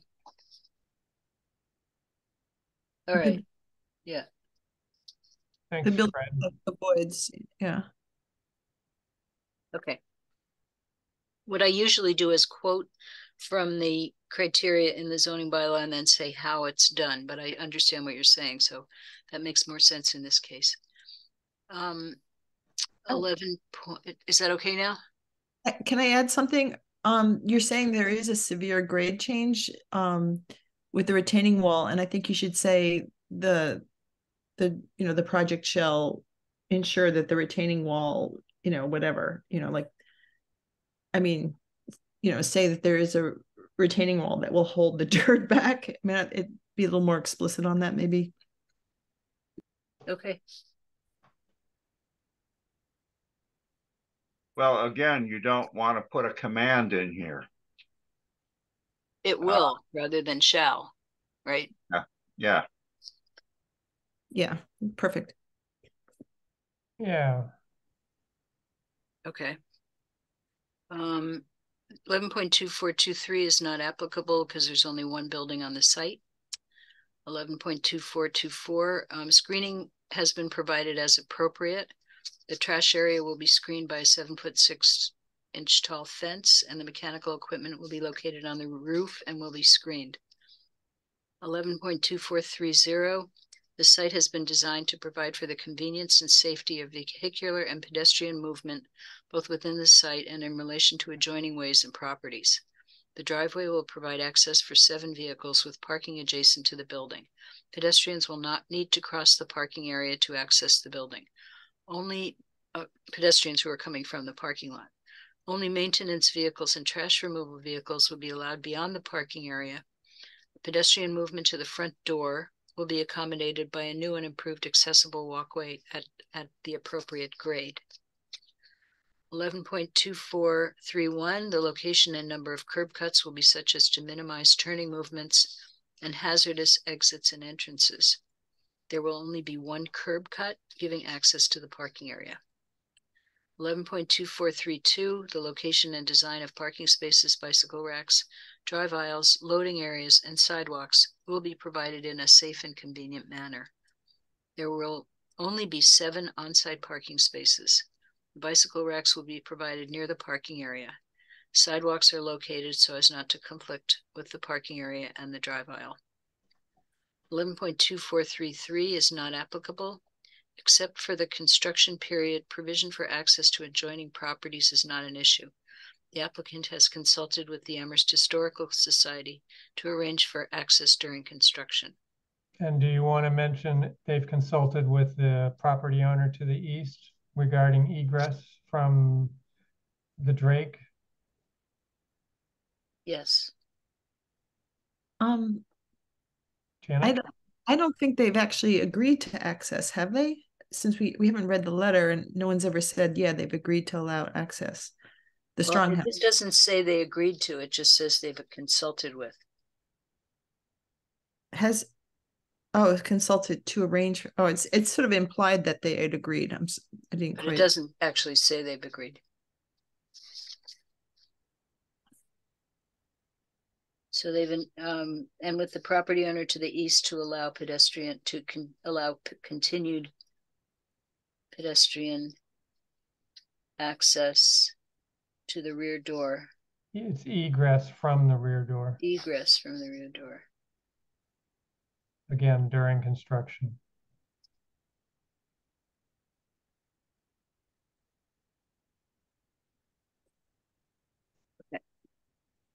Eleven point two four three four, it's not applicable because there's on, there is no new driveway proposed for this project. Eleven point three two four three five is not applicable. Joint access driveways between adjoining properties are not an issue. The adjacent properties have existing means of access from other locations. Eleven point two four three six, the requirement for submittal of a traffic impact statement is requested to be waived. There is a negligible amount of traffic expected to enter the site. Eleven point two four three seven is not applicable. No traffic import, no traffic impact report will be required. Okay, Okay, so that concludes the findings for the site plan review. yep. Okay, So now we have the special permit. now we have the special permit for the nine point two two, which is related to nonconformities. So this is a quote from what the zoning bylaw says. Section nine point two two of the zoning bylaw states the special permit granting authority authorized to act under the provisions of section three point three of this bylaw may, under a special permit, allow a nonconforming use of a building, structure, or land to be changed to a specified use not substantially different in character or in its effect on the neighborhood or on property in the vicinity.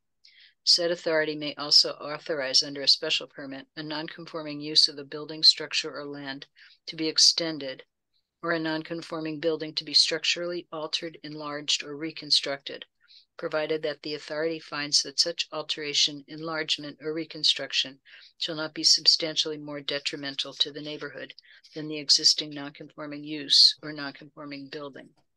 So the finding is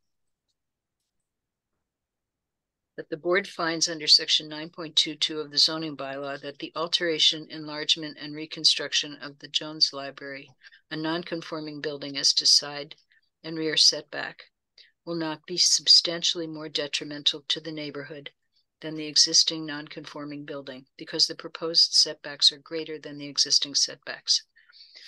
The rear setback is required to be twenty feet minimum under section six point one four one of the zoning bylaw, where property in the BG zoning district abuts an adjoining residence district. The existing setback is one point two four feet at the northwest corner.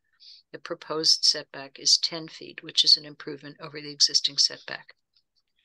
The side setback is required to be twenty feet minimum under section six point one three two of the zoning bylaw, where a property in the BG zoning district abuts an adjoining residence district. The existing setback is one point two four feet at the northwest corner, and the proposed setback is five point five feet, which is an improvement over the existing setback. Are, y- and is it, is it really just a accident of the universe that both of those numbers are the same? That's the information that I've received from the applicant. Is And that Rachel nods her head yes. I checked it twice. I was like, how can that be possible? Okay, thank you. One point two four, not even one point two five. All right, And then Go if ahead. you choose to accept this one, findings for the new historical globe lights at entryways.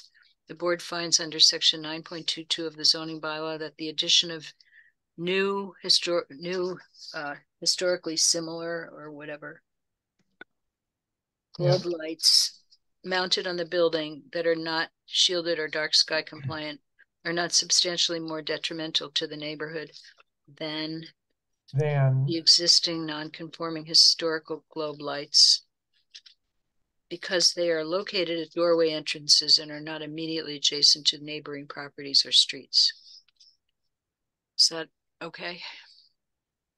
well, I, I would probably stop the sentence at after lights and forget everything after because. Some of those lights are not at doorways and some of them are immediately adjacent to neighborhood, neighboring properties. Okay. And the um special permit findings for the special permit to extinguish the special permit ZBA 90-7 does not need any findings. I checked with Rob Morra about that and he said no findings are required to extinguish that special permit. Okay, But there are conditions that I suggested, and those conditions are included in a um an email that I sent out. I'm sorry that I bombarded you with so many things this afternoon, but Oops. um I don't know if Pam has access to that email. Yeah, It I'm was gonna, I'm gonna from try and pull it up. I mean, I four have it too. forty-seven PM. Yeah, I have it. Yeah. Okay, there you go. You know, Chris, I, I actually think um, it wouldn't be a bad idea to follow up with the town attorney about, about the avenues we have to waive the lighting requirements. I, you know, I think in the end, even if we steam, steam ahead with what we're doing tonight, um, I think Janet's, you know, Janet, uh, Janet's point is reasonable, and I think it, it would be helpful to know that there is an avenue in our bylaw, Okay, just as a, you know, when you're talking to them about something else. hmm Um, Janet, So, so nine point two two allows you to take a non-conforming building um, and alter it, enlarge it, or reconstruct it as long as it's not substantially more detrimental to the neighborhood than the existing building. It has nothing to do with lights on the building. It's talking about the, you know, it's talking about their in alteration, enlargement, or reconstruction. So that's what we're that's what the Jones is doing. It's, you know, taking the you know the addition down and adding a new addition. They're both non-conforming. That's what 922 is about to add lighting features. It's just to me it's just like the door keeps on opening and i just i don't get it. I, I just can't support it. And i you know i keep on and then it seems like even if you had a non-conforming use and it's you know five stories instead of one story in the previous building that was fine too like everything's fine but at least in the previous building, it was a building and it was the reconstruction, expansion or not. here we're just talking about a bunch of lights. And so now we're saying, okay, we can waive any requirement that is a shell because Yeah, it's two. And I'm, I just don't get it. So, um, you know, All right. All right. I'd like to vote for this and say yes. Yeah. Chris? Well, I think that the light, the building already has these lights that are very similar to what are being proposed. And so what you're doing is you're adding to the number of lights, but the lights are similar to the non-conforming lights that already exist there. So I think Right. it's well within the confines of section nine point two two to approve this. Okay.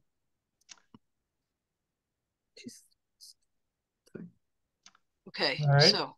All right. So you have some, So these are um conditions that you might consider for the extinguishment of the special permit. I spoke with Rob this afternoon, the building commissioner, about this.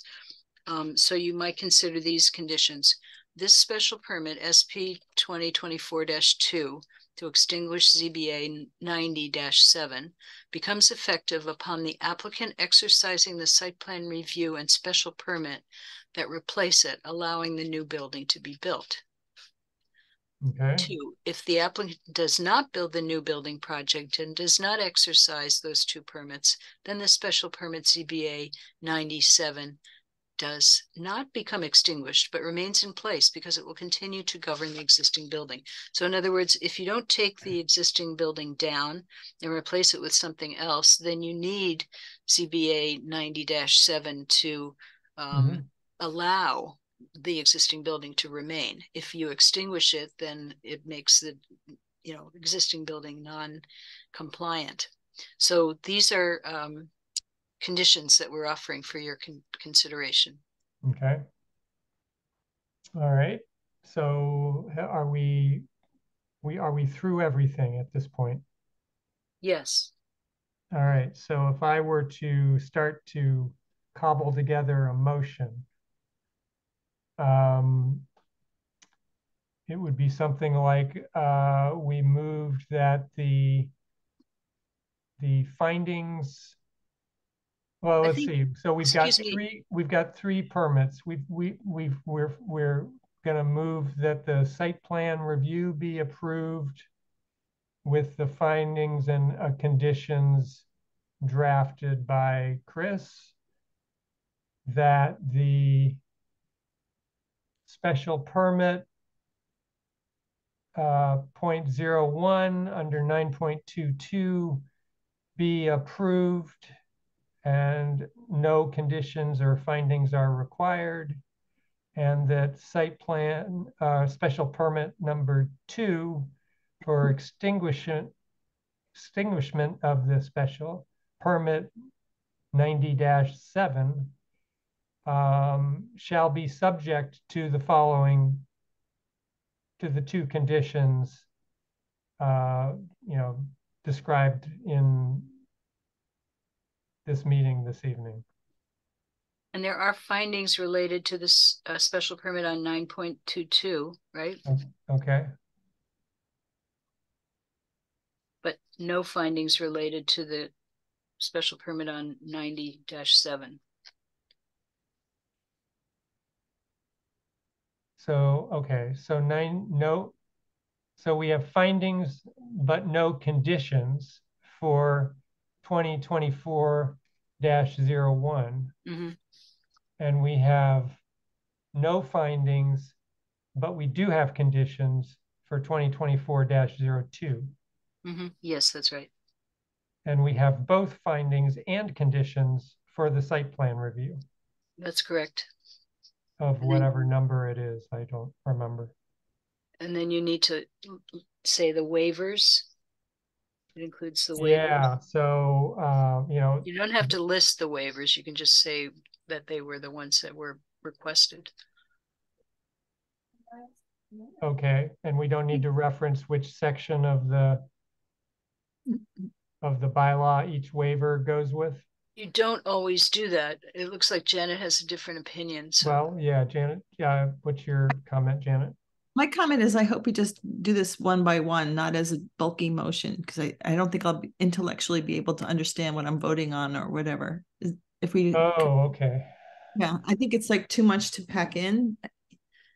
That's what we normally do. We do it one by one. Yeah. Okay.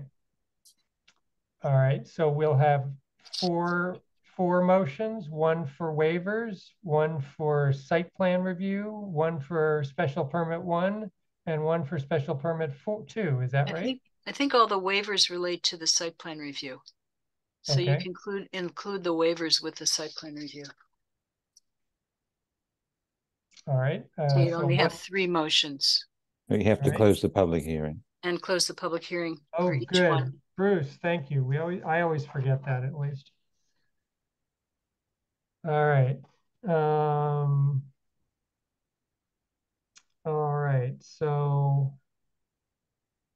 so motion one moved that the site plan review 2024-02 with its findings and conditions as uh, discussed and edited this evening be approved. With the waivers with the waivers as uh, requested in- as requested And close the public and hearing. close the public hearing. for the site plan review. Yep. Mhm. Okay. Bruce, you got your hand. You want to make a motion? So moved. All right. Karen, you got second dibs here. Second, And that leaves Johanna to put her hand down. Okay. Uh, any, any comment on this? I, I, I think I ought to give the stalwart members of the public who have been sitting through this a chance to make a comment before we close the hearing. So I see eight members of the public who've hung in there. Anybody want to say anything? Uh, Okay, the person identified as Zoom user has their hand up. Uh, Pam, if you could bring her or him in. And please give us your full name and your street address if it's in Amherst. Yeah, I'm I'm sorry that I don't know why it's saying Zoom. It's Jennifer Taub at 259 Lincoln. And I didn't know if this is the appropriate time. It's just a small request, but um I was a little concerned for the residents on North Prospect Street and the part of Amity that's close to the library that um you waived that they'll still be able to have construction during holidays like New Year's, Memorial Day, Labor Day. Um, and I know it's probably unlikely that a contractor would have his workers working then, but I'm concerned that maybe for the residents that live particularly along North Prospect, that might be an inconvenience for them. So I don't know if it's something you can think about or take into consideration, or you'd have to change it now before you vote. If, if, uh, All right, all right, so Thank thank you. you, Jennifer. Um, I, you know, I guess I will say that I think the way we left it, that uh, the detrimental effects of exterior construction were gonna need to be governed and limited to specific hours and days of the week. Um, but we got rid of the holidays uh, so that interior construction could continue uh, if that was deemed necessary by the contractor. Um, and whether the interior construction on a holiday would be detrimental to the neighbors, I guess, uh, I guess it was my kind of understanding that it probably wouldn't be. Um, I guess, uh, Chris, would we maybe consider ex, you know, limiting exterior construction on holidays? And should we go back and think about that? I think that would be a good idea. This is sort of a standard condition that you have for all big projects. Uh-huh. So I think it would be better to leave it in and say no exterior construction on the project site Right. on these So what, what it previously said was just no construction. Yeah. So if we added the word exterior, maybe that would protect the uh, butters. Bruce? I just wanted to say that I would accept that as a friendly amendment. Okay, thank you, Bruce. And Karen was our second. Could you accept that as a friendly? I, amendment? I second it. I second it. Okay, all right. I'm sorry, are we voting to close the hearing or what are we voting on? I, I'm- Well, we, we have a motion on the table to uh, accept, you know, uh, approve the site plan review with the findings and the conditions and the waivers and to close the hearing. Uh, That motion is on the floor.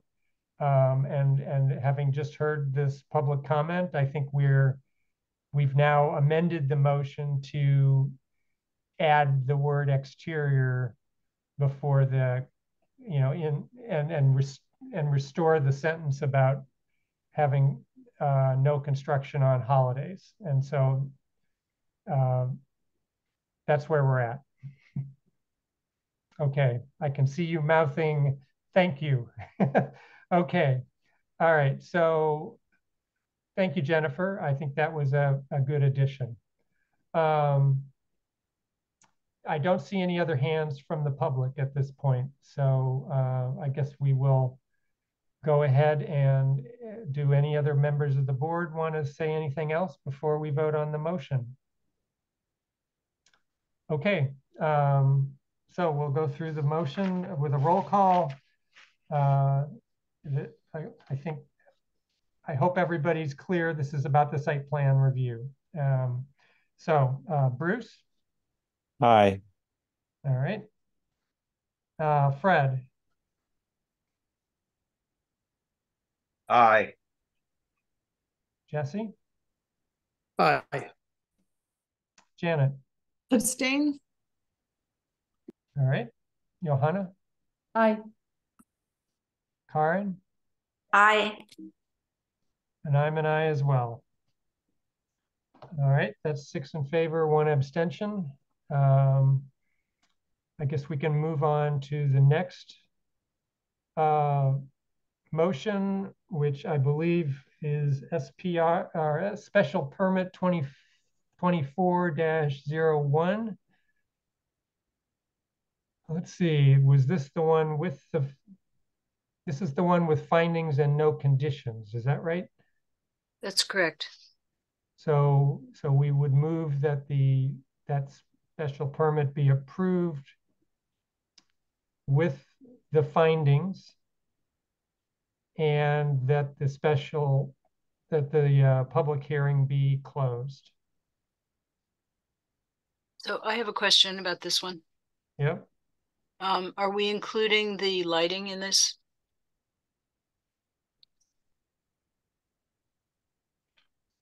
As was suggested in, I'm losing track of all my papers here.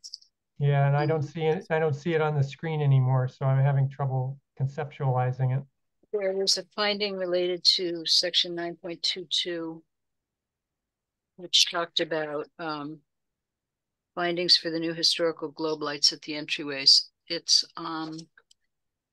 With the other findings, I think, let's see, Oh, okay, so, these are conditions. So Yeah. go back to the findings. And go all the way down to the bottom. Um, yeah, there it is. Okay, so we had a draft finding related to the new historical globe lights. The board yeah, finds, and, and this, so this was the. I think Bruce was the one that said, well, you know, we might just ignore the whole thing. Um, and not highlight it with a. Part of, with a finding, but uh. You know, I think, I think, obviously, we've. Talked a lot about this. This seems to be the avenue that we've. Uh, adopted. Um, we've mentioned that the building official. Recommended this approach. So I would include the findings. Bruce? Yes, I was going to move uh, uh, uh, acceptance or approval of the application for um, SP two four uh, two uh,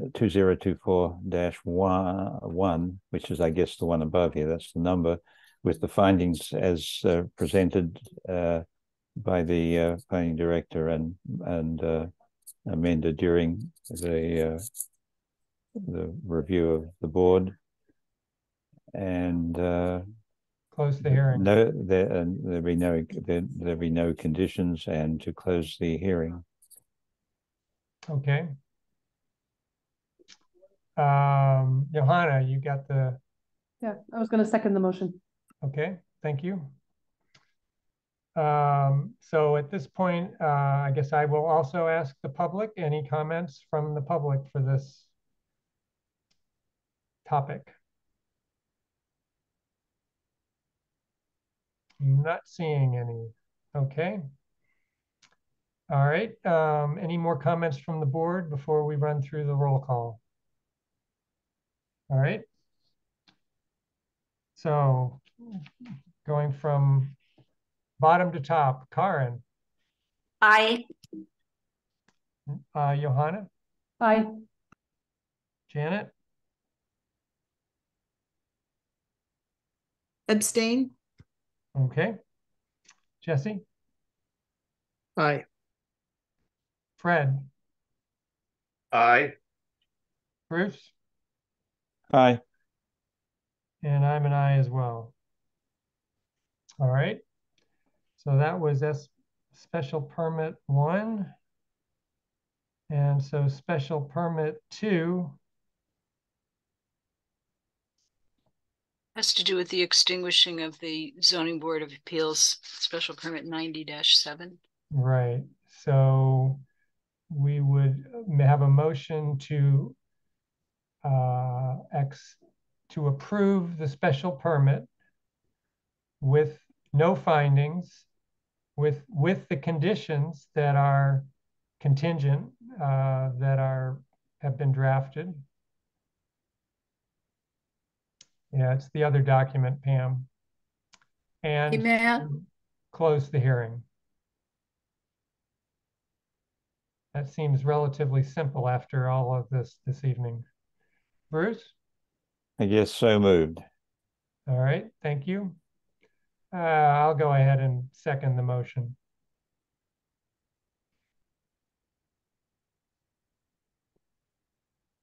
All right, uh, we'll roll call this. Bruce? Are you going to ask for any public? Oh, yeah, I might as well ask again for a public hearing. Any, any public comment on extinguishing the previous special permit?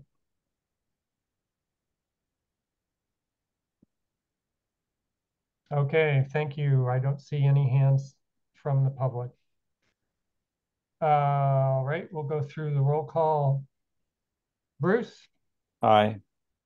Fred, Aye. Jesse, Aye. uh, Janet. Uh, was that an aye? Yeah. Thank you. Johanna, Aye. Karen, I, I'm an aye as well. Seven votes in favor. All right. Uh, Sharon and your team, thank you very much. Uh, I know it's been a long evening, but I think I wish you well. I can I just say so, you know, on behalf of everybody working on this project, uh, Rachel, you know, thank you for being here.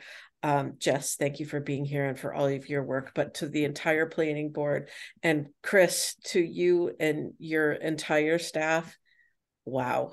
Um, thank you. This is an important project and it's so complicated and there are so many moving parts and you all everyone on this zoom screen including all of the attendees um y'all are are putting in have put in a lot of work and i know there's more work to go and i just i want you to know we don't take you for granted. We really appreciate the work and all the questions that that you've that you've asked and and all the comments that you've made and it's because of those that the project has gotten better and better and so i just hmm. thank you all. Okay, thank you very much. Okay, the time is 10:09. And we can move on to item, well, the next item on the agenda is the University Drive Potential Housing Overlay Zone. Uh, I'm going to suggest that we table this topic, given the hour. Uh, I, my recollection is we put it on in case we might have time to discuss it, and I at least am feeling like we don't have time to discuss it this evening. Uh, so, any, unless there's any objections, we can move on beyond that that topic. All right, uh, not seeing any hands. The next item is old business not reasonably anticipated 48 hours in advance. Chris, Pam, do we have anything? I have no old business, No. Pam. No, No, Okay. nothing. Likewise for new business. no new business. All right, how about uh, Form A and our subdivision applications? None. No. Okay, ZBA applications? Yes, we have one. Um, let me share my screen because.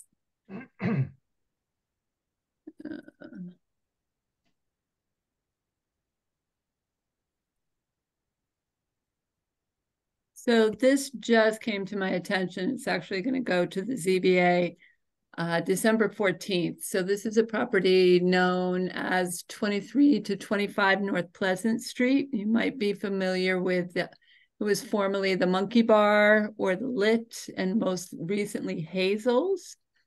Um, there is a proposal to create a new establishment. So it would be a restaurant and a nightclub. It's not a change in use. Um, they're hoping to have two outdoor patios for dining. There would be a total capacity of 300 occupants.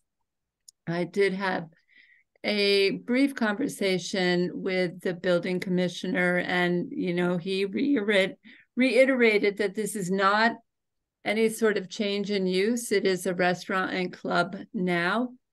Um, you, there's always potential to have, you know, something arise. They, he told me that when um, it was the monkey bar, they learned that there can be a problem with the queuing um in in the back once they put in those new apartments i forget the name of them that are in the back there by the boltwood garage parking area.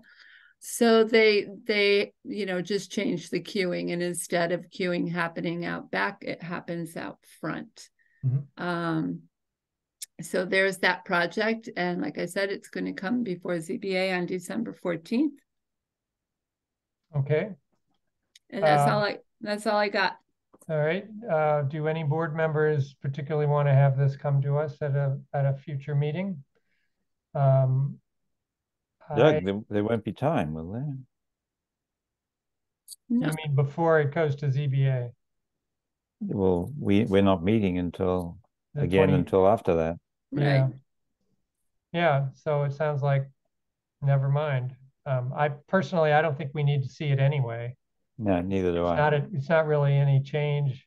It's a continuation uh, that needs a permit. Mhm, So, mhm. um, I think for those two reasons, why don't we just take a pass? But thanks for letting us know, Pam. you're welcome Um, next item, the time is ten thirteen. Uh, upcoming SPP, SU, S- special permit and S subdivision applications. Uh, Fred, I see your hand. Uh, yeah, um, what about, uh, the, uh, Leverett Road, um, Kittredge development that I understand is, will extend into Amherst? Uh, Okay, that- yep, uh, that is major. yep. And, Uh, I saw that in the, in the Gazette too. Uh, Yeah, my guess uh, is it's not anywhere near coming to ZBA or, you know, any other town permit yet. But Chris, what would be your perspective on that? Well, we're just starting to learn about this, um, and we're gathering information. Um, it's a big project. It's on the border of, uh, Leverett. It's proposed to be a big project on the border of Lever- Leverett and Amherst, but I think, I think that the, um, proponents need to do a lot more work to, uh, you know, decide if this is the right place for this project. And as I said, we're just learning about it. So as you know, was, as we get more information, we'll share it with you. But right now, we really don't have a lot to share. Um, I think that the Leverett Planning Board will be hearing a presentation about this from the proponent on December 13th. So there will probably be, you know, more in the paper about it at that time. Um, but that's really all I have to offer right now. Yeah, that will be a walkthrough if any of you are interested. All right. So that's our that's our chance to go and see the Kittredge estate. Uh, actually, if I could interject, uh, that uh, the paper indicated that that walkthrough has been postponed. Okay. Well, maybe there was too much interest. Uh, Janet. Um, I I don't understand that. I mean, I understand they wanted to connect to the sewer system and water of Amherst, but there is is does the project take place? Will it take place per, possibly on Amherst land? Fred? Uh, does anybody know the answer to that? I guess my yeah. uh, Chris. Chris, it sounds like you may. Yeah, from what I've seen, the there's probably twenty percent of the project that could occur on Amherst land, oh, but okay. the Amherst land isn't zoned for it. So, you know, I think that, the, as I said, the proponents have a long way to go to make this even a real proposal. Right. Okay. Uh, great. Uh, moving along, planning board committee and liaison, uh, Bruce, PVPC. Oh, you oh. didn't hear about upcoming site plan review. There are two of them. You skipped over that. okay. Um, yeah, so we have Hickory Ridge trails, um, universally accessible trails coming up on the 20th of December. And then um, towards the end of January, you're also going to be holding a public hearing on the new um, elementary school, which is very exciting. So we just got that application in the door the other day, and we're going to be looking at that, but it's currently scheduled for um, January 17th.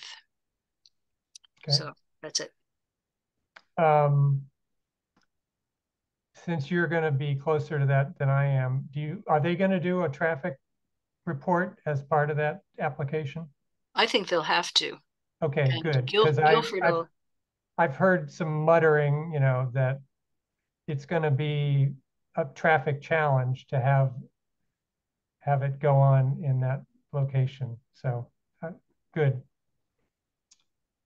All right. Um,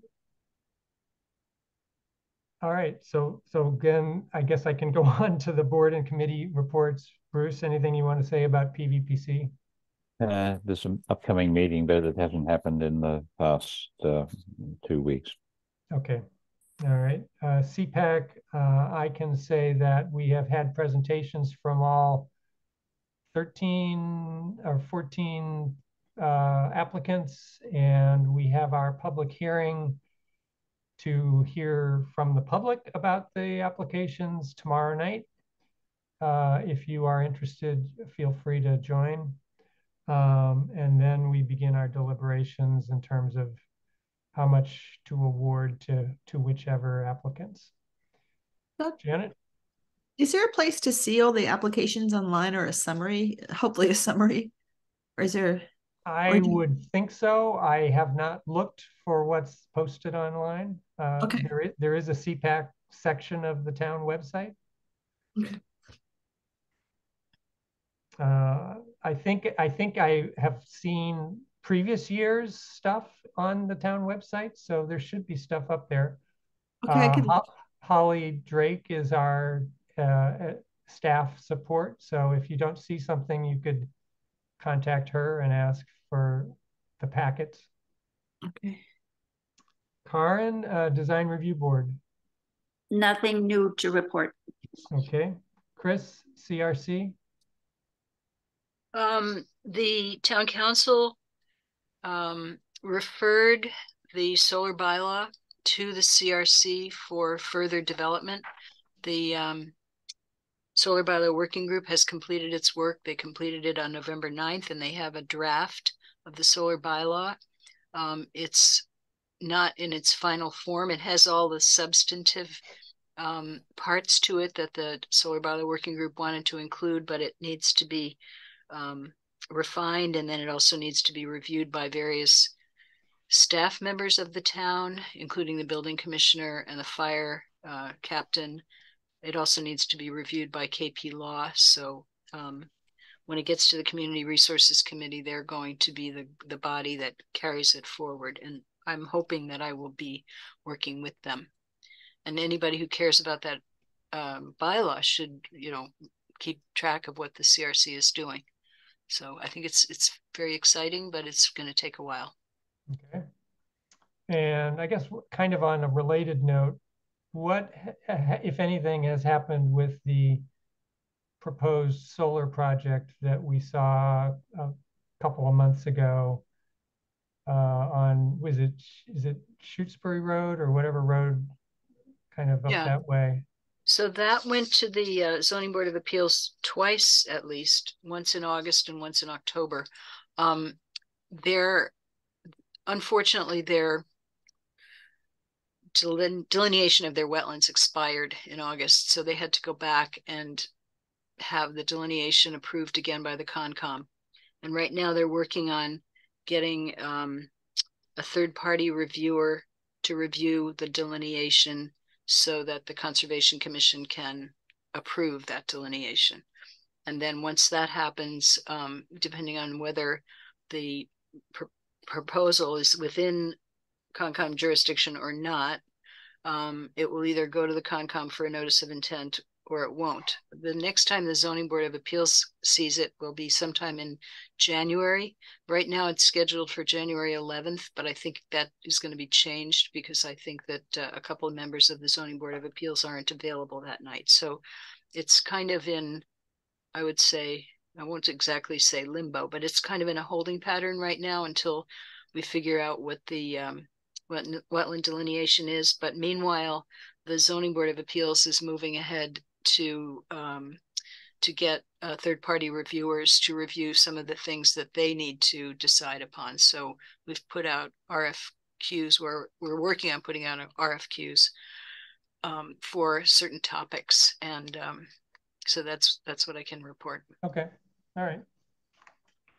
All right, um, I guess that's all the committee and liaison reports.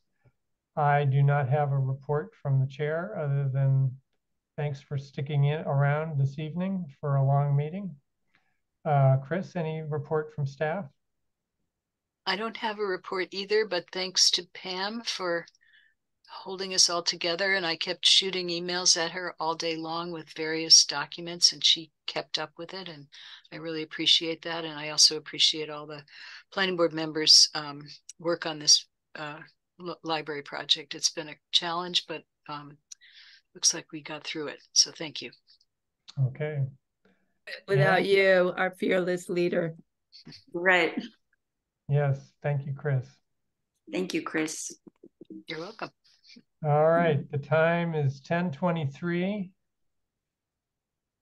Thank you all. We'll see you on the 20th, right? The next Right. two weeks. That's correct. Yep. 20th. Okay. All righty. Bye. Good night, everyone. Good night. Bye. Good night. Thank you. Stop. She wants to Good night, Pam.